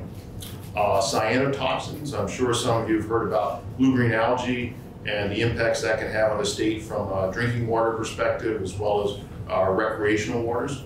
And so this past year, the lab took on responsibilities for testing for the toxins that those algae uh, produce, and it's likely that we'll grow that testing capability here in the coming season. Um, as uh, Stephanie had mentioned uh, before, uh, we do a number of feed, seed, and fertilizer testing. So again, from a, a label guarantee perspective, making sure that what's in the package is what they say is in the package. Um, so we report those out uh, from the samples. We also take pet food analysis. So any manufacturer who's going to sell pet food in the state goes through a simple, a similar um, label guarantee process. Again, making sure that it's it's a quality product and that what's on the label, the consumer can rely on that. Uh, from a pesticide standpoint, uh, we're very actively engaged uh, with Steve and his team. Uh, we participate in two key areas with pesticides. One is our routine analyses, and so these are brought about through specific projects, whether it's neonicotinoid or it's glyphosate, but looking at some of the ripple effects, looking at how those are being utilized and where those products are going. Um, we also get heavily involved if there's any misuse investigations. Uh, so in the case of a complaint that gets, that comes to the agency, we respond, we provide uh, a chain of custody process for the samples so that we have defensible data to either inform that the complaint is valid or to invalidate it. Um, so that's where we get involved. Um, we have tens of thousands of, of, water quality samples that we receive. So virtually any of Vermont's lakes and streams and other bodies of water, we're doing uh, data analyses to inform whether there's phosphorus runoff, other types of nutrients, metals, bacteria, uh, presence or absence of pesticides. So really, again, trying to monitor and inform for keeping our, our bodies of water uh, safe. And then from an air quality standpoint, we're involved with an EPA testing process that evaluates air quality um, in all the states. And so for the Vermont state component, uh, we accept those samples and evaluate those for air toxics and heavy metals. And of course, pleased to say we have some very good air. Where where do those uh, those samples come from? So there's air quality. Who collects them? It's a great question. So we we work uh, with a the collection partner, uh, Jenny Berschling, and the uh, Agency of Natural Resources. So they do the collections through the mandated processes. There's designated sites throughout the state. Oh, um, oh there are designated. Correct. So they can. It's basically it's year round. It's on a I think it's a 12 day schedule. So every 12 days we get a sample in, oh, and so they can get a very uh, accurate picture of quality over time. And is there a certain time of year that we have better air quality than others, or do you know? That's do you a, know that? Uh, Senator, that's a great question. I wish I could tell you that off the top of my head. I, I don't without looking at the data. And, and typically in this case, you know, this would be data that we're the intermediary. So we would generate the quality data. We give the report to um, the, the collector, in this case Jenny, and then she's able to anal analyze that and determine how we're doing in terms of our, our air quality. Yeah. Uh, seems like in that, like this morning, you know, it was really cold and brisk. Seemed like the air was pretty darn good. Uh, Felt good going walks. Brian? No problem. Uh, thanks, Senator. Uh, do you test or DEC? What's your relationship there? Do they ask you guys to test things, or these things that you're all sort of testing, like for ANR? What's that sort of relationship, I guess? So, Senator, that's a great question. So the lab is is, is run through the Agency of Agriculture, Food and Markets, but okay. it's in collaboration with the Agency of Natural Resources, which the DEC is part of. Got it. Um, so we we strive to serve both needs of, of, both agencies. So are you the lab for the state, for for example, uh, the the, the uh, uh, PCBs? You're you're the lab that we're that we go to. And I guess my other question, we just uh, Senator Starr, a few of us were up at UVM visiting some folks. What's your how do you work with UVM in terms of testing and that kind of thing? Do you do much with UVM? So, Senator, that's a great question. So, there's two areas in which we get involved. Um, from a testing standpoint, uh, UVM right now is handling a lot of the soil testing okay. for agricultural quality. For, for you, for, for your agency? Well, it's not through us directly, it's okay. for the Vermonters. Got it. So we just, that's kind of their, their, their area of expertise. Got it. And their capacity is, is developed there for that. Okay. So they uh, handle that part of it. Uh, the other area where we engage has been with collaboration with uh, researchers and faculty members there. So for instance, there's some work potentially for this coming season uh, with neonicotinoids and how they might move through the soil. And so we're collaborating uh, with a faculty member there at UVM to Great. potentially get some of that testing. Thank they, you. They've done soil tests forever up at yeah. UVM. Yeah. And, through the extension yeah. and, and it's just stayed there. We just we had a great tour and a lot of it was focused on ag stuff and it's just incredible what some of the students are producing. Yeah. This committee had a great tour last year of the testing lab. Oh, really? Oh, yeah. Oh, yeah. I, I see Diane has a question, Mr. Yeah. Chair. All right. I didn't see you up there in the corner, Diane. I know I'm stuck in the corner. I can't help it. Uh, but thank you, Senator, uh, to to elaborate on Glenn's answer around the laboratory and our interactions with uh, ANR, uh, Agency of Natural Resources, and Department of Environmental Conservation. When the lab uh, came together, was to be built in statute, it states we'll have a, um, an MOU and a lab governance board. Um, so that governance board is made up of members from the Agency of Agriculture and the Agency of Natural Resources. Uh, Secretary Moore and Secretary Tebbetts are both involved and alternate as, as chairing that governance board. Um, so there's a lot of interaction and um, a lot of discussion. Glenn is in the middle of a strategic planning of where trying to figure out what's next. You know, these things keep coming up of PFAS and PCBs and and what's coming and what does the lab need to prepare for? So having representatives from both ag agriculture and the Agency of Natural Resources on a governance board, you know, helping to what's next if we can tell i mean things pop up but a lot of interaction um, the lab was the last to be rebuilt after Tropical Storm Irene. It was washed out in Waterbury, and the first floor was the Agency of Agriculture, and the second floor was the Agency of Natural Resources in that old lab. So it was a legislative decision to combine the two and to have this manner of governance so that it would be a, a strong interaction of what we're doing and where we're going. So we're we're still working with um, the uh, Agency of Natural Resources. They do so many tests um, that getting the information out that you know the lab the lab uh, lab can do testing and bringing some of those tests that have been sent out in house, et cetera. So still a work in progress, but a lot of interaction there and a very good, a very strong partnership and working hard together to make sure we do as many tests at this laboratory as possible um, and uh, you know sending it out of the you know using an outside lab the the uh, state lab has to be you know we can't undercut an outside lab. So you know making sure we cover our costs but not you know making we're not we're not a for-profit lab. So it's a it's a very good partnership and work hard together and um, and really i think that's important to put out there that how much the interaction is going on yeah, thanks, Diane. Uh, go ahead. Uh, Thank you, Senator. Um, so, and then just to summarize, and uh, thank you again, Diane. I appreciate your the additional history there. Um, but just to summarize a few of the new areas that we're actively engaged in uh, right now, I think one was already mentioned with PCBs and air. Uh, so we are the state lab to do that testing uh, specifically to meet uh, the requirement that Vermont State Schools air quality is tested for the presence or absence of PCBs. And so we're actively involved working with, with ANR on that process. And then, as I know you've probably heard, PFAS is, is often in the news as a, a potential contaminant that can be in water, soil, and food.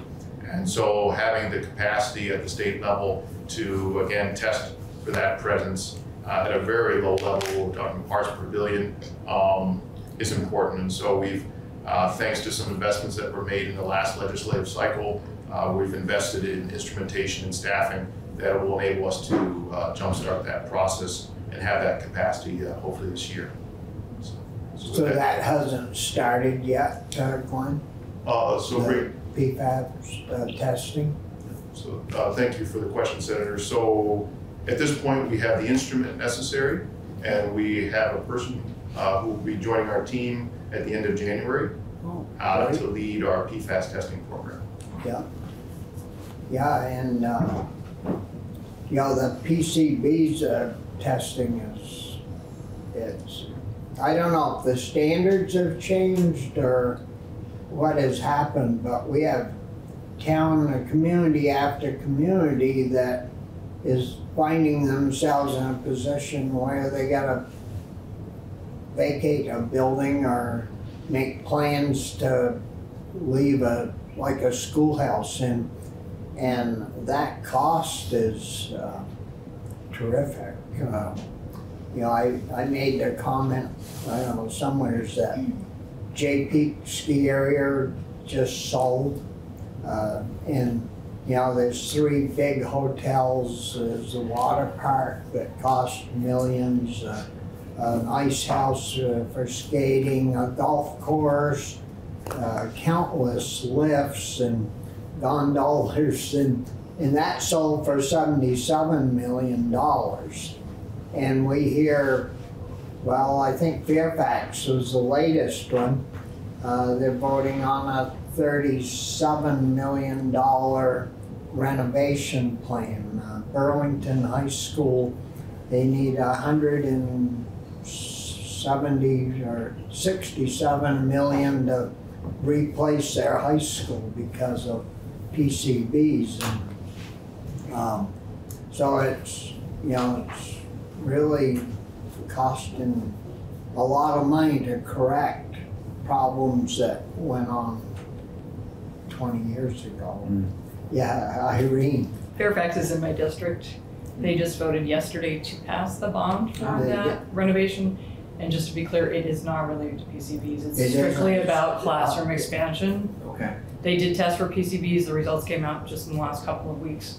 And they are below, they're below the threshold. So that's Oh. one school district that's Yeah. not dealing with PCBs. That's Um, great. but yes, they are spending a lot of money to renovate that school for other reasons, mostly just, Well, it's they're a popular growing. place.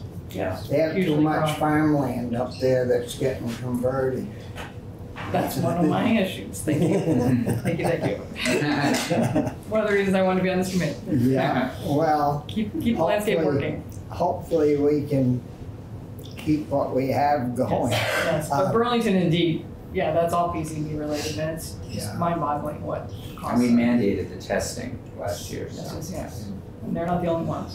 Thank you. So, anything else, Glenn?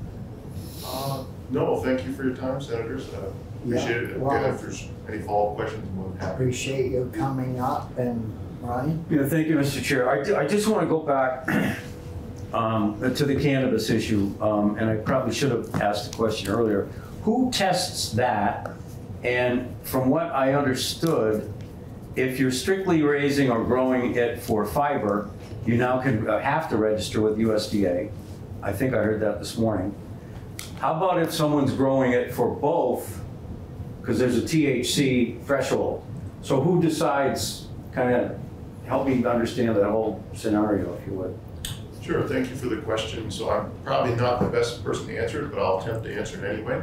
Well, I was just asking about the testing. Yes, so from the testing component, I think, so we have the um, Cannabis Control Board. Right. And they're in their infancy, so they're trying to establish what the testing protocol would look like. So they have an array of tests from everything from heavy metals to the THC level, the potency, to the, yeah, the bacteria, the molds. And so they're developing what that process would look like. And then our lab potentially may get involved uh, to serve some of those testing needs. Um, but it's a question of having the capacity to do that at this point. And So we don't test at the moment, we send it out, out of state? so at this point, we did do testing this past season, uh, but specifically with hemp.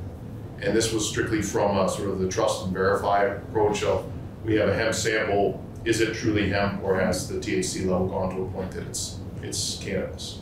Um, so we did do that testing, um, uh, within our organic section. Again, I think the challenge has been internally, while we'd love to grow our testing capacities to meet that need, but right now we've prioritized work with the PCB and air testing and the PFAS testing. Uh, and, and in terms of the chemical need, these have all originated from our organic section. Um, so it's a, it's really a- an active growth area in terms of testing needs. Okay, thank you. Yeah, sure. Any other questions for Glenn? No? Uh, So, thank you, Glenn. Yep, thank you for your time. Thank you. If you need to leave, Much appreciated. yeah, hopefully, um, maybe this year or next, we'll get down and visit the lab in the college and we'll stop in and see you. We'd love to see that. Yeah, Great, thank you all. yeah. So, Laura, it's almost your Saving the best for last. Well, we got, still got Diane. I can't share for some reason. It says you did. I just put you as co-host, so try again and see if that works. All right, well, let's move forward. And so I want to invite and welcome you to introduce Nina Gage here. Um, I, for the record, am Laura DiPietro. I'm the Director of Water Quality, and I've been doing this for a while now, maybe a decade. Um, but Nina is new, so I'll let you just introduce yourself real quick. Hi. Yeah. Hi, nice to meet you all. Same here. Uh, my name is Nina Gage. Um, I grew up in Rutland County, Brandon, Vermont. Um, my folks are still there, and I studied at University of Vermont in um, Bachelor of Environmental Science, Environmental Studies from the Rubenstein School of Environment and Natural Resources. A lot of my backdrop in school was around social science work, so um, I'm very interested in the behavioral aspects of our work in terms of changing the culture of what farms look like in Vermont. Uh, in I've been working for the Water Quality Division for the past six years uh, behind the scenes, so I am both nervous and excited to be here with you today. But um, I look forward to assisting you with your needs throughout the session, and in collaboration with, with Laura. So thank you for having us today and the opportunity to introduce a little bit about our programs. Yep. So, all right, so I know we've gone through this a lot in other committees, but certainly um, give you a high level of sort of what we do, and then you know as the session goes on, or we expect we'll come in for specifics of what you need. But generally, um, what the Agency of Agriculture does in water quality, because that's what we're doing obviously in our division, is we deal with non-point source, and so there is the way it's set up is DEC does the point source work, and they are required to have us do the non-point source work.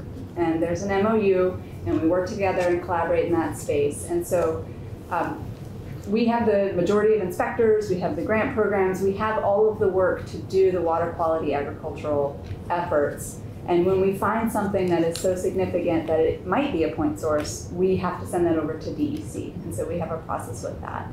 Um, and we can explain more over time as that comes up if there's questions. But that's generally what we do. So we do um, education and outreach. The bulk of that is put to our partners. So the clean water budget is the majority of our budget. And we take that money and then we move it to partners. So folks like UVM that you went to visit and conservation districts, um, they take those funds and they run programs. So for instance, like the UVM will, we've outsourced the um, custom manure applicator. So every farmer who hires a custom manure applicator can ensure that that applicator has been trained and understands the regulations so that when they're applying manure on their farm, they should be doing it by the rules. Uh, and farmers also have to get education as well. There's a requirement for that. So they run those programs to have these opportunities so that people can access them. But of course, we do our own education and outreach as we need to about our programs and practices. we inspect and enforce on farms, and this is the majority of work that we do. We actually, we have two office locations, and I know a lot of folks are remote. Um, but we do have, our Williston office is um, near the is it Restore? I can't remember it's anymore. It used to be Goodwill.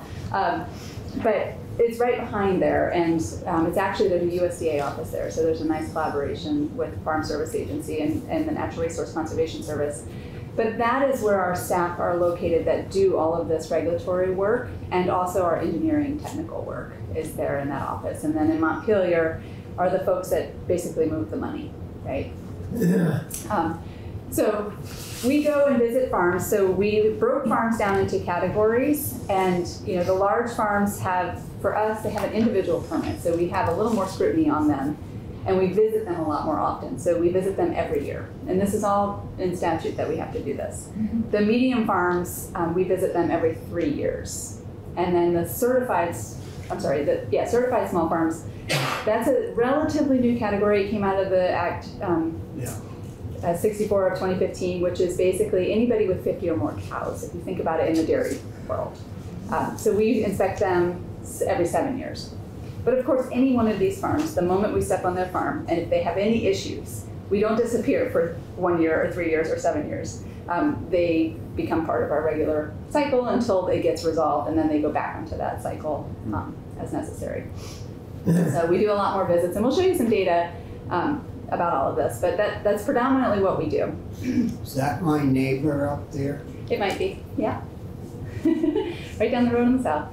Um, yeah, so we, we inspect production areas, we inspect the fields, we walk around every single thing in the production area, like a silage bunk or a manure storage.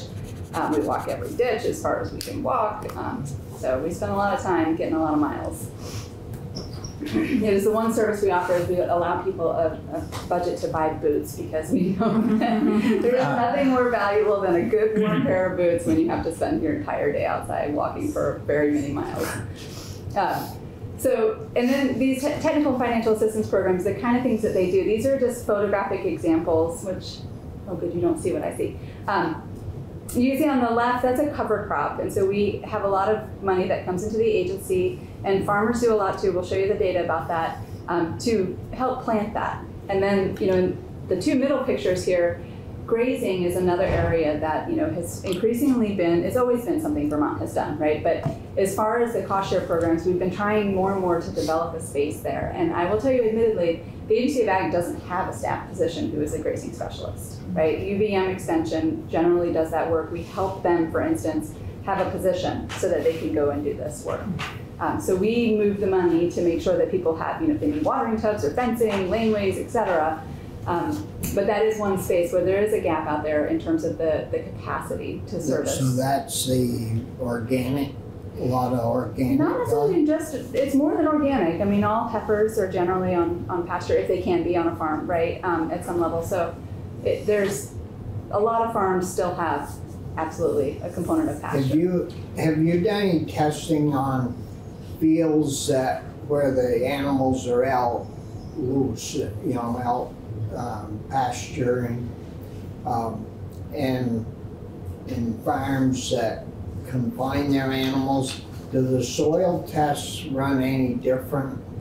Um, you know, the cows are out there punching little, if it's wet, they're making little marks in the soil to retain water, and they're pooping and, and, you know, that, is, is there any difference in what happens to soil? Yeah. between- I'm not going to be able to answer your question holistically because it depends on every farm. But if you were to grab a research paper that described what each farm was like, then I think you could respond to that. And you know, Heather Darby is definitely a great one to ask. She has been taking a lot more soil health tests. So we don't take soil health tests as a regulatory requirement, right? So we don't do any soil testing. We require it by the farms, but they're only required to get nutrient analysis. So they're not required to get soil health or water capacity, organic matter. We're gonna have to maybe start doing more soil testing if we're gonna, uh, you know, uh, produce, uh, papers, uh, supporting what Ryan is doing. And that effort is doing that. Um, and so again, there's there's a number of tests that have been done in the state, and generally what they found is, you know, Vermont actually does really well because we are a manure-based state, right? Midwest, they're not manure-based agriculture, and in Vermont we are, which as a resource into the soil, it actually creates good organic matter and water retention. So, um, but defining whether pasture or or you know just regular hayland or cropland would be differentiating. I think it depends on the management of the pasture, right? Stocking density and all those other things. So it all depends. Yeah, I don't know, because I live on the farm I grew up on. And remembering, you know, when we used to do the hay, and then you would pasture, or you would let the field, uh, fields grow up and the cows would, and they would, you know, make little uh, holes in our earth with their feet, hoofs. And then you'd have rain, and you know they would poop in them fields and the rainwater and everything else would run down through and get when those hoof prints. And it just seemed like uh, the hay and the next year would be good. But now if you don't fertilize those fields because the cows are gone and there's no cows in there punching little holes in the soil to let the water in with. You know, you still get some, but uh, it's, it's different.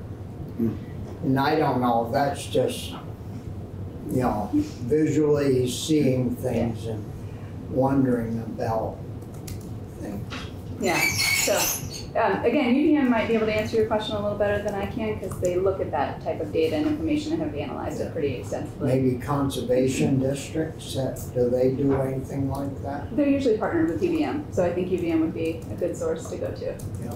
Um, and the picture on the right is um, our capital equipment assistance program. So we have been given money. We do a little around a million dollars um, plus or minus a year to help farmers buy equipment that does a next level innovation into the farm field. So That's right, injection, right? that's an example. Yeah. Um, See, and that, that leads back to the hook marks in the, you know, in the soil. No, you're right. You're right. That rig goes down through and makes little, little scratches in the soil. So this specific equipment is called a grassland shallow slot manure injector. It's produced by, um, it's actually out of the Netherlands where this technology's come from.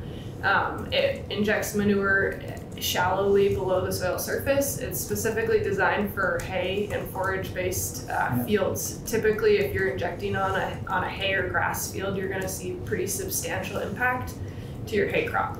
Um, so hence, a lot of farmers for a long time were, were really resistant to it. Um, this technology has created a pathway for manure injection on hay fields where we, you know, in Vermont, a very large majority of our agricultural fields are in perennial systems in grass or hay. So it's provided a new opportunity. We've developed a few of these systems across the state um, to support farms both through like uh, individual farmer agreements as well as uh, cooperative and, and sort of extension or conservation district supported shared equipment.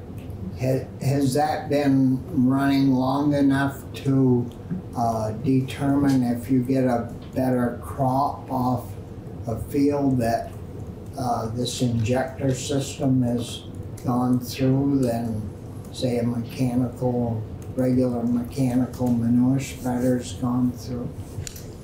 Um, I don't know the details of the comparison studies, but I know that we supported UVM Extension a couple of years ago to look at some of the impact. Um, unfortunately, the years of study were impacted during a drought year, so some of the initial results were, um, you know, not ideal just considering the, the drought conditions of the season. Um, and that was work that Kirsten Workman had taken on. She's recently left her position at UVM, so I'd have to check in with them on on where things landed in terms of research, but um, it's still pretty new. It's, it's a new technology, um, but folks are excited about it. Yeah.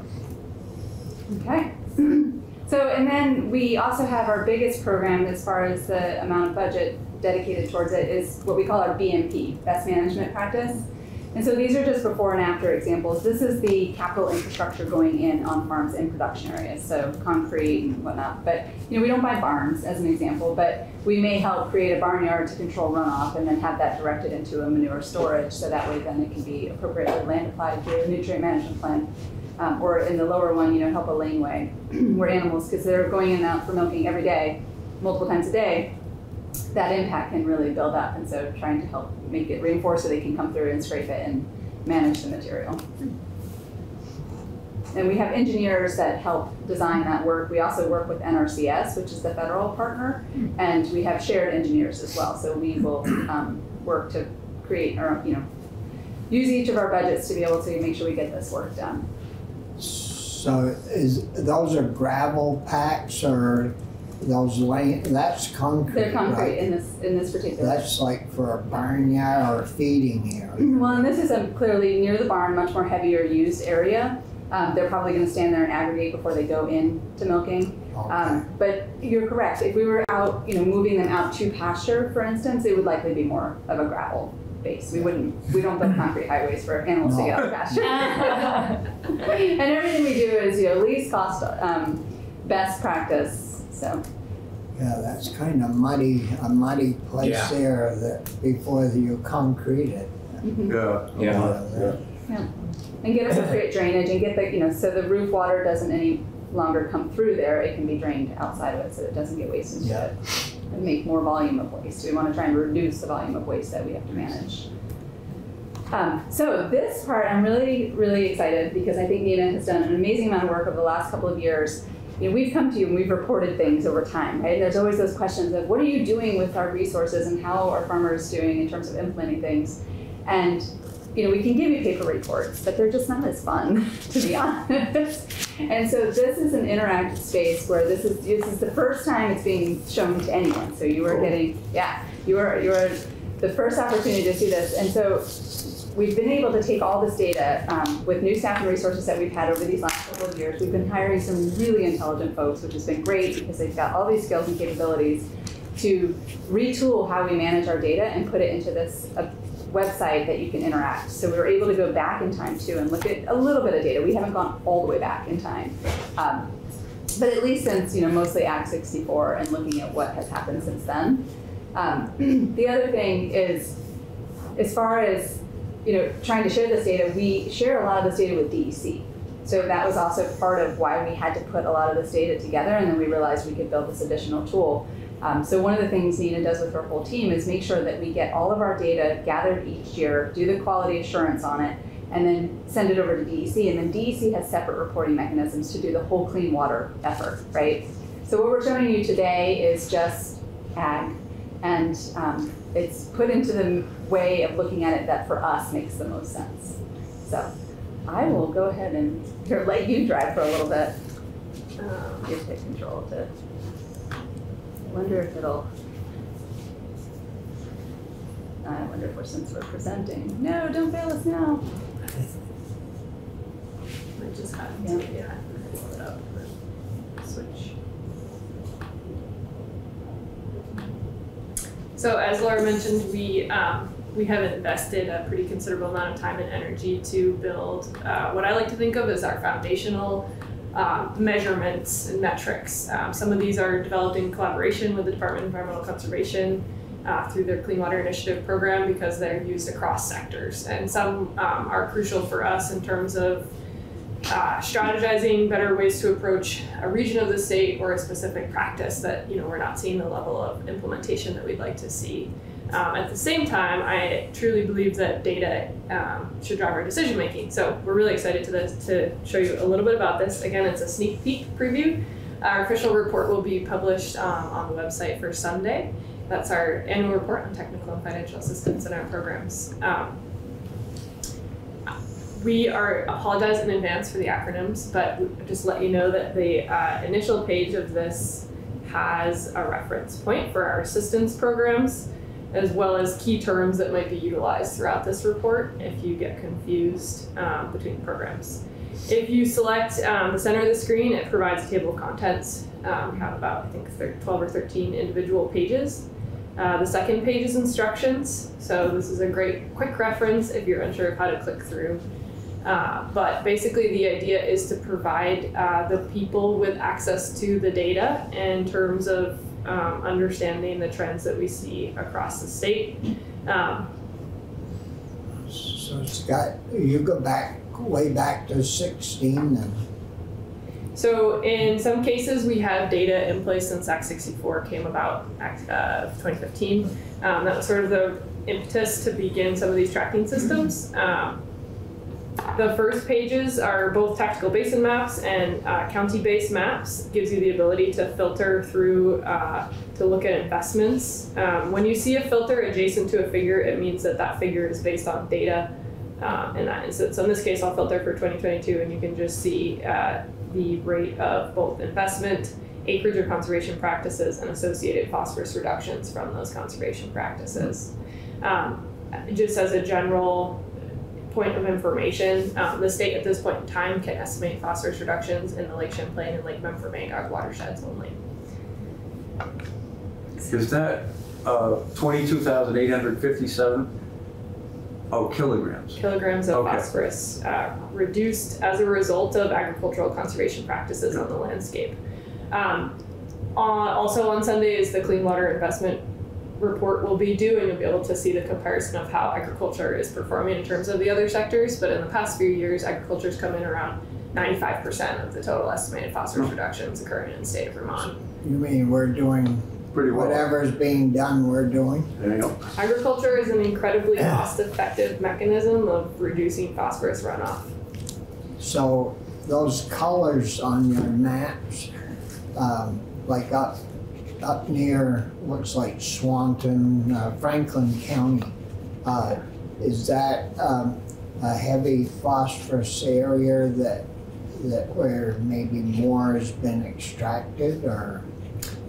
Thank you, Senator, for your question. It's a great question. In general, the maps in this report are going to, you're going to see a higher concentration at a darker color. So typically, you know, we have a lot of reductions that need to happen in both the Missisquoi, South Lake, and Otter Creek basins. So you're going to see a pretty significant investment and, um, you know, general work in those areas.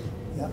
Um, I'm gonna breeze through this as best I can and just let you know that the, the goal is that this will be at your fingertips if you need to look at information in the future.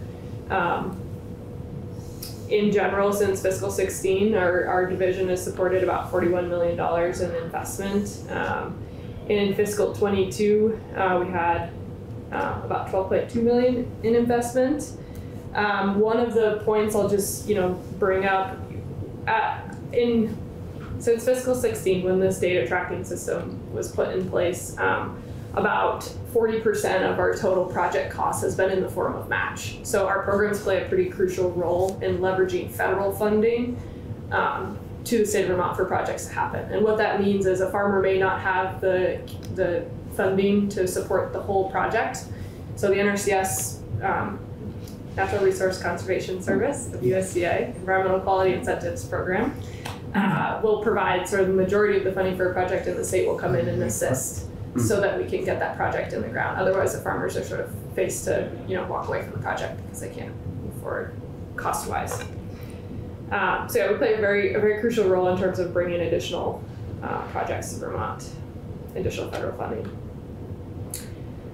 Um, in terms of actual conservation practices being implemented on the ground, um, cover crop is one of our largest sort of conservation practices that we're supporting and, and assisting farmers to adopt, both increase their adoption rate of and improve their, their implementation of. Um, you'll see sort of a little bit of a dip in fiscal 22 practices and associated phosphorus reductions.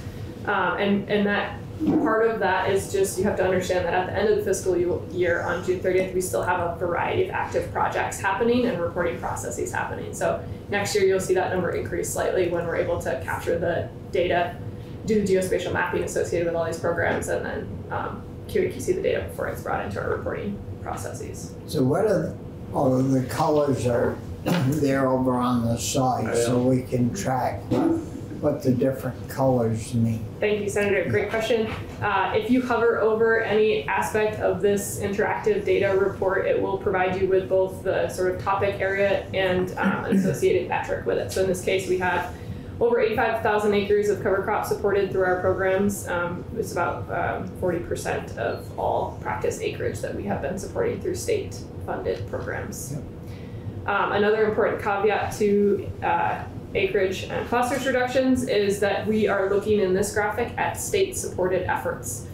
The federal government, United States Department of Agriculture, Environmental Quality Incentives Program, um, and generally programs under the Natural Resource Conservation Service, they contribute significantly to conservation in Vermont. And those metrics are not incorporated into this report. This is just solely state-funded aspects. Um, so Laura mentioned in the beginning that um, you know our education outreach to the agricultural community is a key piece of our work. Um, sometimes that's in the form of an event, right? It's a, a, workshop at a local farm that can invite neighbors to come and, and see a best management practice like an pack manure system, and how that works so that they can you know, have the opportunity to ask questions and potentially implement a similar practice on their own farms. Um, and sometimes an event might be a stakeholder meeting um, to pull people together and, and get input on um, a new program. We also support uh, visits to farms. Again, as folks may know, a lot of farms tend to live in rural areas. They may not be as connected to things that are happening um, so our ability to be on farms is really crucial to connect farmers with, with state and federal programs and resources and or knowledge about regulations that may be applying to them. this includes both um, technical visits provided by UVM Extension under our funding programs as well as our, our staff on farms. Uh, I'll have Laura speak a little bit about this, but um, we also have some data on production areas inspected for farms. And one thing I'll say, so the partnership and the way that we get this data, at some level to their, their frustration, I'm sure, um, but in order to give the money to people, we ask them to report the stuff back to us, right? And so it's a requirement in the granting, and we've set up these ways that they can electronically get this information to us so that we can get it into this method. Um, but I think they're all, you know, in the first couple of years, it was probably tougher to adapt and, and change. Um, the other thing we have that helps get some of the data out is we have, um, we talked about it years ago, and it's just, it's continued to flourish, which is great. We have the only, I'm pretty sure we're the only state in the United States of America that has a partnership database where multiple agricultural entities all work within that database. And we started building it with the USDA. Unfortunately, USDA has privacy and challenges, right? So they were hopeful at the time when Vicki Drew was the state conservationist that they could make it work, but lawyers had other thoughts about it. Um, so they can't participate. They can look at it, but they can't put their data in it. But still the same, um, conservation districts, UVM, anyone we give a, a grant that's in this MOU between all the partnership to say you will respect how this data is managed and you will put it in.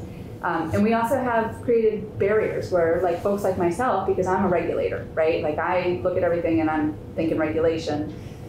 I can't access it, right? I can look at it and get aggregate data, but I can't. So what's going on on Senator Campion's farm? You know, like I can't do that. You Can't, or you mean it won't show you? or- I don't have login access. There's actual controls in the data so that my access cannot get me there, right?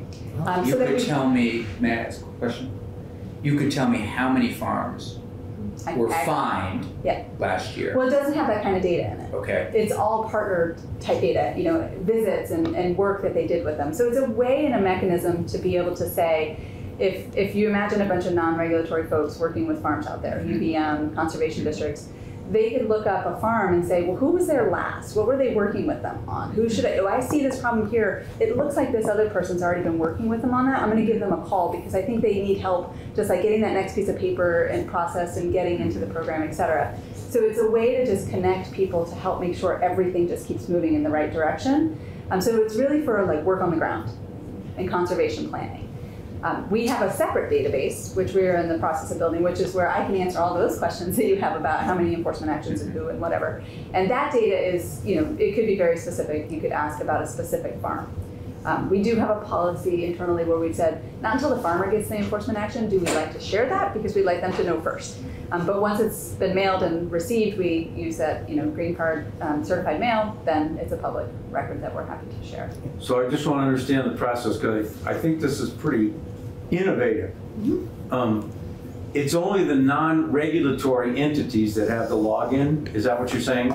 We have different access logins. So Uh-huh. like I have a, uh, well, I'll just call it a regulator login, right? Yeah. And, and other folks like UVM Extension have a full access login. Okay. But the farmer, I don't want to speak for the farmer because I don't know. I assume if I were a farmer, I might feel a little better about knowing that Yep. You can't see some stuff. That's the plan. It's like, it's Okay. about building comfort. And again, we really did intentionally build it to get USDA in there because we knew USDA, we are not allowed to share that data, period, if we ever get it, right? And so we knew there were federal requirements. And so we built it for that. And there's still hope. Maybe they can come in, right? Maybe some new lawyer will have a different vision. But um, that that is the focus as well, is that people can talk to farmers and say, it's okay. Like, I see you have a problem. I'm glad you called me. We can help you and we can get you to, to get a solution in place. I, th- I would think it would tend to make it more legitimate and accurate too. And we can have data now to Right. talk about what's going on out there. How many people are accessing them? What type of programs do they need? That kind of thing.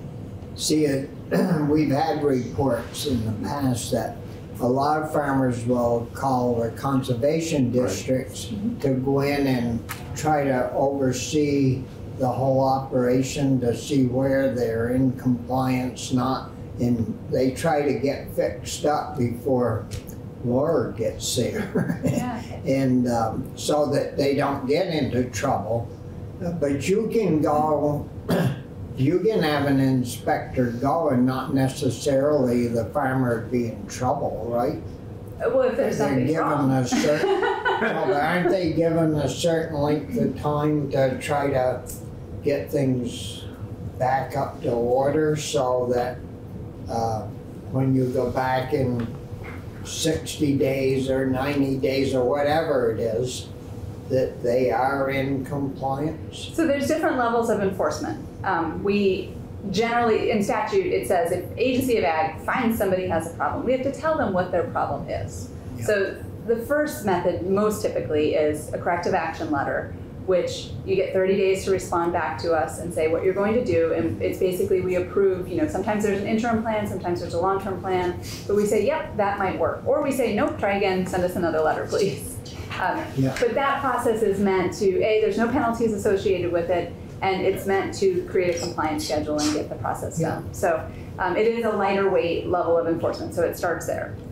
But then if they don't do whatever they said, or they don't respond, or whatever, then it can move up, and the next step is typically a penalty from there. Yeah. So, um, this page is our enforcement page, and it sort of gives you an understanding. It, we didn't break it out by the type of enforcement action. Um, majority of our actions are corrective action letters, um, but notices of violations are more and more common. And um, admittedly, they're probably more and more common on the medium and the larger farms because we've already been regulating them for so much longer, doing inspections. That if you've been noticed about something once, we have seven years. That if you have to have that problem come up again, that means you'll probably go to notice of violation. So there's sort of a, a seven-year limitation on coming back into um, understanding. Um, so you can see, you know, our enforcement actions have absolutely gone over, up over time. Um, I think a great part of that is the capacity, right? We when we first started doing water work, we didn't have resources, and you know, really Act 64 of 2015 gave us some capacity to be able to do this work. And so you can see after 2016, the workload has significantly been able to um, not only do more inspections, but you know, it's just this idea of like if there's more cops on the road, you tend, well, sometimes I guess it tends to everybody slows down, but um, you end up potentially getting caught, more likely to get caught. uh, like where the, your graph goes up um, to 80, 87, 82, uh, 101. Yep. Uh, those are enforcement actions. Actions, which is encompassing of all the types of actions. If you if you went back and I bet if you went back and checked no see most of that's on dairy farms I presume. And if you went back and checked milk prices, that's when they were probably getting uh, 15 16 dollars a hundredweight and they had no money. I, I mean, I don't know if that's true, but it would bear looking at because those years in there, you know, we had like five really bad years. And uh, I bet, I bet that some of the. In these years, we had about four inspectors, right? In these years, we have about 11. Ah. So we doubled Oh, capacity. so you had a lot more inspectors. We have a lot more too. inspectors, So yeah. they could drill down. we could we visit a lot more farms. And what we also started doing in this space so in this group you know in the prior years if i were to jump up to the graph up here this bar chart. Yeah. sorry i'm on the wrong page. Let me um let me take you to production areas inspected. Um, this data doesn't go back because we just this is coming from our new database that really we just haven't had the Oh, capacity to go back in time and key in all the old data. Um, so this will be a going forward, and as we can get to it, we'll get information going backwards. But um, what we used to do, based on having four people, right, and trying to regulate all these farms, was we couldn't get to every facility each year. So an individual permitted farm, for instance, like a large farm, might have nine facilities that they have animals at or manure storage at. Um, once we got the capacity and staff, we changed all the protocols and said, go everywhere and do everything, right? And so that's one thing where if you look at this top chart here, the orange as an example is large farms. So our acronyms are certified small farm, large farm, medium farm. Non-RAP are farms that are lower than what the RAPs regulate, and then small farms are very small farms that are regulated by us but don't have to certify with us. Under 50. Mm-hmm. Yeah. Um, so, but you see how big of an area we have in terms of the amount. So this is like when we look at a production area. Um, again, it's the it's the infrastructure typically is what this is looking at. So there's more infrastructure sites that we're going to on large farms versus these other size farms. So you know, while there may only be, and I don't remember the numbers off the top of my head, I want to say like 39 large farms. Like there's well over, I mean, there's 200. Well, I guess we'll just give me the total. Well, that, that year we inspected 113 facilities, right? So, Between medium and large. no, just large, just large. So, um, so while we may not have that many, it appears certified, or I'm sorry, um, permitted farms, there are actually multiple farms associated with individual permits. Um, and you can see this is the actual acreage, so a production area and the size of it, right? So as the farm is bigger in size, typically the production area is also, you know, square footage acreage bigger. And so you can see large farms, of the inspections we do, the, the majority of the area that we walk and look at is the area of a large farm. Uh, so, um, I can't remember why I was taking you there. What, the little, the one on top is the small farms? The blue the littlest is the yeah the the blue. Those are the small farms. Yeah, Yeah. So basically, they don't have much acreage either. no, no, and yeah, you want to show the compliance one? Yeah. Um, so what we also track is just how, how compliant are these things, right? So one of the things we have to do for TMDL tracking is trying to figure out how to quantify. We do all these inspections. What are we finding, right? And so um, if you look at this this bottom chart here, percent compliance by fiscal year reported. So this is each year. This is the blue is um, compliant and the orange is not compliant. And you know it's slight, uh, admittedly, but there is an increase in compliance going on um, which is good. Um, in the if you this is breaks it down up here by farm size. You know, certified small farms are the most compliant. Um, but one thing to be noted about this is the caveat data. Again, like if they're compliant when we visit them, we may not be back there for seven years. So in the interim, we may not know if they've changed things and they're no longer compliant. Um, to where like the large farms, again, we're there every year. So this is, you know, this is a lot more intense data to say that 69% are compliant. So while the data shows that certified small farms appear to be more compliant, um, the data behind it isn't as rigorous likely as the larger farms because of the volume of inspections they do. Uh, thanks, Chair. So I just want to, so it's thirty percent roughly since, and I may be misreading this, since twenty nineteen to twenty twenty-two of farms that aren't compliant. Yep, when we go there, they're, they're not compliant. So I imagine these are re, are these repeat offenders, sort of, you know, what, are you seeing there? Or is it, gosh, you're, you're not compliant and you're you're just popping up? Tell me a little bit more about the data. I don't know if I could like pare down the Yeah. data specifically, but I'll just tell you our process, right? Yeah. So this is a sense of we inspected X number of farms. Yeah, Of those, how many did we have like a clean bill of health? yeah, That's the blue box. that's the blue box. So the ones that we didn't have a clean bill of health, those are the ones where we assess it and, you know, majority of the time it gets referred to enforcement and is dealt with enforcement.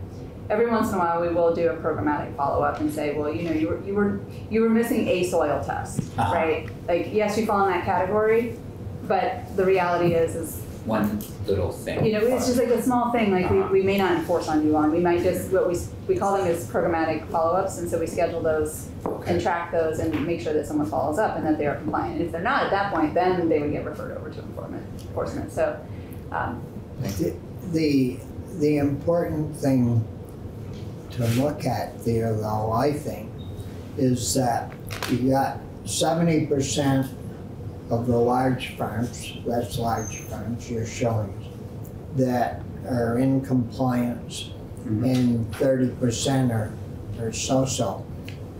But if you look at the acreage and the number of animals, if you back up to the slide before, that's where the majority of the land is mm-hmm. and the cows are.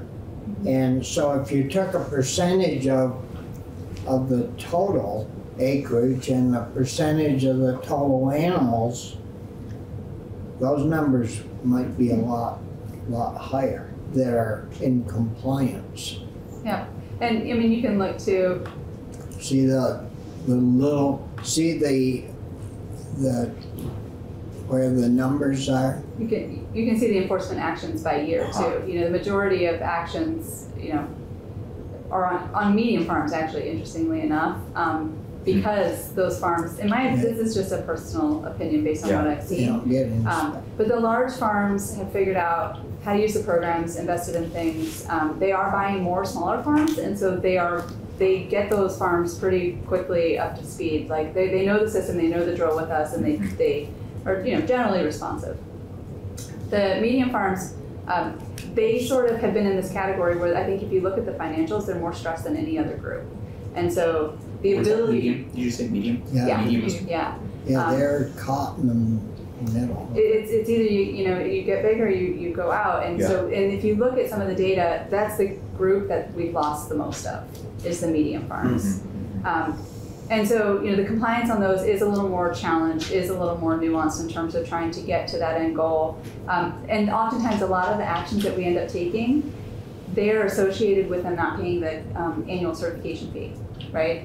So if you, like in some years, you know, we'll have 30, 40 of them that didn't pay. And so it's like those go, we send notices, but like, so that kind of stuff falls into this data as well. So it may not always be about a water quality issue as much as, you know, essentially if they owe us money um, for an annual fee. So we could tease that stuff out more, but um, that I think is why the medium farm category comes up more into these spaces. I know Yeah, I mean, it'd be helpful to tease it out at some point, and maybe the report itself, you know, if somebody said to me a third of our hospitals weren't compliant, you know, we'd all be panicked, we'd all say, hey, you know, let's get, let's fix this situation. A third of our school, you know, so it would be helpful to better maybe understand what's happening there. Sorry, we just lost Yeah. internet. That's okay. We completely lost internet. But anyways, we, we don't have to go through it more um, in terms of that, but Yeah, we still gotta get Abbey and Diane on for a few minutes. Yeah. and Yeah. Unless they can come back another day. We lost internet in here one day Yeah. last week also. I don't know if So I'll just say a couple more things if you don't mind, if I can do it without internet. Um, so I just want to show you that. So thank you for taking time and checking it out, and you can poke around more now. Very excited that you're excited about it. Yeah. Uh, Thank you but the sort of hot spots or areas that have been kind of going on since the last time we were here at this building. Um, waste importation on farms has been a really big discussion in our space, right? Because there's the universal recycling law, so no more food scraps can go to the landfill.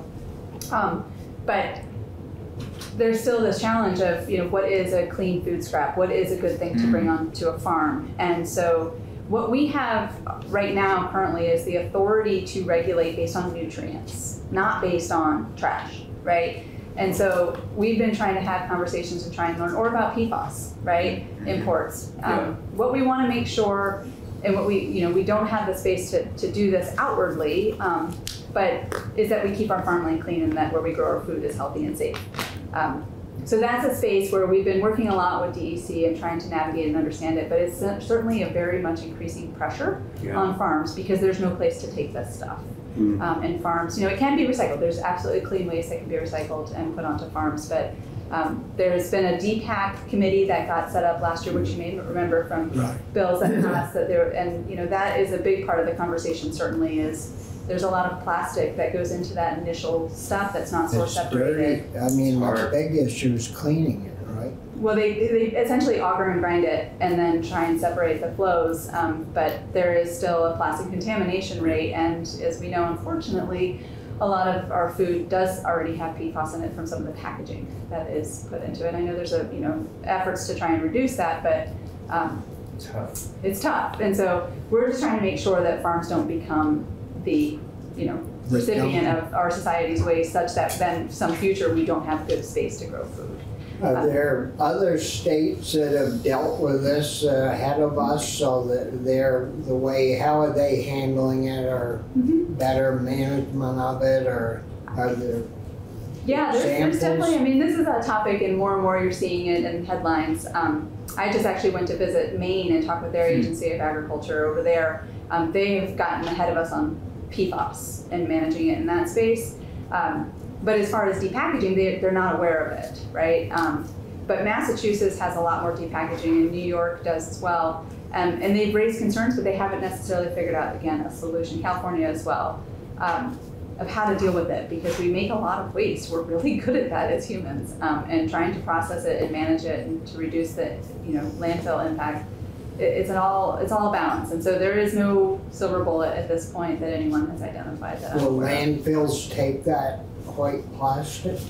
I mean, can you take it to the landfill? Well, so like if you have food in a package that um, you had a huge batch, right, like a truckload of a batch of bad something, it didn't fill all the way, or it, it's a little off spec, or you know you've got the wrong ice cream in the wrong container, right? like whatever, Yeah. whatever happened. Um, instead of manually opening and separating all that food from the container packaging, this is the technology that is available and has been used. Is just to sort of smash it, right, and hope that the you know whatever the product was We in went it will go through out. that last year. Yeah, we up did. in Yeah. Chittenden County, they got a Yes. D-pack. Yes, there's one in Vermont. And so that stimulated a lot of the conversation of just, and UVM's doing research on how much plastic gets into that, um, just to try and understand what this is because It's tough, isn't it? It is. So that's one, again, it's a pressure that's been coming to us. Um, we've been trying to keep a focus on narrowing it to a few farms versus having it be a lot of farms. But again, we don't have the authority to regulate plastics or PFAS or contaminants like that. We have nitrogen, phosphorus, and potassium, and how much storage volume of Well, a farm has. I think, you know, instead of working like some other committees work uh, in this building, I would wanna have an alternative in place to require, you know, farmers to switch to before, um, you know, just saying, okay, as of two thousand twenty-five, there's no more white plastic snowballs gonna be seen in Vermont. We better have an alternative figured out, what they can use in the place of, of, uh, the plastic, uh, because we know that it's gonna lay in the, wherever they dump it, in the landfills or wherever, it's gonna be there for, Ever. for, well, it'll take a lot of Long years for it to, whatever happens to it. And, and Canada's doing some research too, because I mean, some of this can get, the plastics can actually go into the plants um, as well, if they're, if they're micro enough. Um, so we're gonna learn as much as we can, but it just, that's a space that it's been quite a year, learning lots about that. And the other thing is um, farm determinations and what is a farm. We never actually even had a process to do this. Hmm. Um, you know, it was just you were farming. Everybody was farming. Oh, yeah, I'm- Um, I'm- and now you've Right. got you've got you know Act 250 asks lots of questions. He's a questions. farmer, that. I've got twenty-five chickens in my farm. All right. Yeah, well, he's and, I mean, It to, depends. to your Right. point, what has started to happen is so we said that, uh, and all, all due respect, I mean this in the nicest way, but like backyard, No, yeah, yeah, yeah. right, um, was no longer in the RAPs, right? Yeah. Because municipalities can't regulate farming as it is defined in the RAPs. And the RAPs, we said, you know what, but backyard farms have taken a lot of our energy, and we know we have to do this big water stuff. So we carved that out. But what's starting to happen is municipalities are making regulations to tell people they can't have chickens.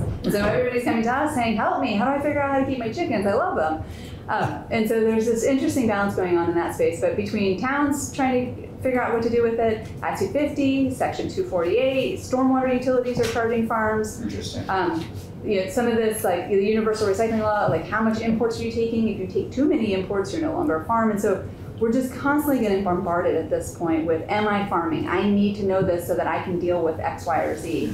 Um, accessory on farm business. And so it's been just constant, and it was something we never envisioned was going to be as rampant as it is, but it's consumed an enormous amount of our capacity um, in the last year. So, and then there's just one more thing. Just to end on a more positive note, um, in 2020, our team um, received a $7 million award from USDA to offer a new program called Vermont Pay for Performance Program. Yeah. This is an innovative program that uses environmental modeling to look at field by field phosphorus losses on farms um, and provide performance based payments for Vermont farms. So we are one year into that program. Um, over the course of four years, about $5 million of additional federal funding um, will, will be available for Vermont farms that meet certain stewardship thresholds uh, above and beyond what's required for, for regulatory purposes. Um, but we're very excited about that program. It is the first time farms have the ability to see on their own operation their field by field losses, as well as to, to compare that to state water quality goals. Um, so, a new tool in our conservation toolbox. So, like Ryan mentioned So this you morning. work with Ryan on that? Well, he's doing whole e- ecosystem services, right? Yeah, This is literally looking at how much Phosphorus phosphorus did you reduce on your farm? So it's an alternative to pay for the pounds of production of phosphorus. now, uh, do you check what a farmer buys for fertilizer? Because I've heard a lot of farmers buy very little phosphorus anymore. Yes. You know, they have their soil tests to go by, so they, they go by that and that's what they try to buy. Is that accurate or? Thank you for the prompt. Um, the really awesome part about this program is that we are utilizing um, place-based ge- geospatial information, so it's looking at specific soil type Um, you're entering data such as your soil test for that field, which gets updated regularly. You're looking at the manure test values, manure application rates on each individual field, as well as um, you know what crop and potential crop yield and, and nutrient uptake you're having from that. So it's on a field by field basis, looking at all the data that um, farms do right through their land management, comparing that to the actual soil type, the actual location of that field, and providing the farmer with a sense of where they can target their conservation efforts to have the most impact. So where can they spend more money in conservation on a field to have the best impact in terms of reducing phosphorus runoff. So if they're still using a little bit of fertilizer and it identifies they don't need it and that they can reduce it and get a payment for it, this will show it to them. Is, I was over at Red Shappets, um, I don't know, this summer, sometime, and uh, he showed me the letter from his agronomist, and a lot of his field, he does manure injection and and broad uh, spraying, and uh, some of his fields that he was able, well, most a lot of them, he could cut his fertilizer, commercial fertilizer, in half. Buying it could cut it in half because he has the, he's the doing yeah. these Yeah. Probably a lot up-to-date nitrogen, 'cause practices using and, nitrogen as much. and, you know, he, he's just one of many big farms that, or farmers that afford to, can afford to do that kind of stuff. As a farmer mentioned to me last week at a meeting, um, we've been studying and looking at data from cows for you know a decade, two decades, and now we're really in the space where we can look at that level of information about individual fields and, and areas within fields that are causing the concern or, or contributing in a beneficial way to See, the other thing we, a lot of the phosphorus comes in through feeds, I've understood, commercial feed. Well, of course, it goes through the animal, the feed does, and what comes out the other end has got a lot of phosphorus in it. And so I don't know who's keeping track of that or, or not keeping track of it, but it's something somebody's gonna have to pay attention to. Yeah, well, on the regulatory side, it's kept track of by sampling the manure, but there are efforts to try and reduce it, and you you can share that. There are some initiatives called Whole Farm Nutrient Balance, which is looking at grain imports versus crop uptake versus phosphorus from your manure, basically to look at the overall balance that's coming in and going off of farms. It's a pretty new initiative, but it's led by UVM Extension. Yeah, so Heather's been studying feed and diets and trying to work with people to really assess it for a couple of years. And it's a space that it's it's difficult. There's not really that many financial resources. We try and provide financial resources, but and it's really time intensive to be able to work with the farmer to gather that information and do it. But she's she's been doing it. And I don't know, hey Diane, our, you and EB, we, we kept you on all morning, haven't gotten to you. Is there, we're, and we're running out of time, is there another day that you, t- we have the secretary coming tomorrow. Tomorrow morning, At what time? nine to ten thirty, so. Is there, could you guys come back tomorrow morning, uh, with the secretary or? Um, sure, we, uh, Senator, we'd be glad to work with Linda to see if we can fit that in. I, I can't talk, speak to EB's schedule, but we'll figure it out. And that, uh, yeah, all are, also Laura Ginsburg was coming in, so it'd be all dairy. Three, three Oh, folks on yeah, dairy that- and, you know, you know. Well, we, I mean, sorry, but we- we're running out of time. We should have started earlier, I guess. But anyways, uh, Five thirty in the morning. uh, I'll have Linda get in contact with you. Uh, Sure, th- Thank you very much. Uh, So, Laura, um, what, uh, what, has somebody analyzed feed you know, we keep hearing, well, there's a lot of this phosphorus is coming in through the, the feed uh, that farmers are, commercial feed that they're buying. What, what does phosphorus, what part of the feed does the phosphorus uh, produce or, you know, you, you- Well, it's a fundamental building block of everything, right? We all have phosphorus in it, and it's necessary to grow. So it's within the feed. I So it's just part of the wheat or part of the oats or part of So- the corn? go ahead. is, did you have something on that, Diane? Yeah, you're going back into my old degree in animal science. You know, it was ruminant nutrition, so I know I know this stuff. Um, the, yeah, it's in all the feed because it plants take it up. So it's going to be in the grain, but what they've really been looking at is a nutrient package. So they might vitamins and minerals for the cows. And so in the past, it was thought you needed a lot of phosphorus in that vitamin and mineral pack to make sure the cow's reproductive system worked well. But now they're figuring out they can, you know, mm-hmm. shrink that back to almost zero because it's in the plants. And so that was that's been the, a lot of the focus of research is how do you reduce this mineral pack, you know, the vitamin and mineral pack to the animals so they it doesn't really need phosphorus in it. And it took a lot of mm. convincing you know when you change make a change like that you got to convince everybody that it's not going to have any impact on the cows. So it's been over time and they're really moving toward that of reducing that phosphorus. But you know if grain comes from somewhere else and they don't have the same environmental requirements that we do then they're not really working to reduce their phosphorus in the grain that they grow so you know that's that's a hard one to get that level to come down when we can't control what happens on farms you know, outside of Vermont. But it has been that mm-hmm. vitamin and mineral package been the, the thing they've been focusing on in the past to reduce that phosphorus.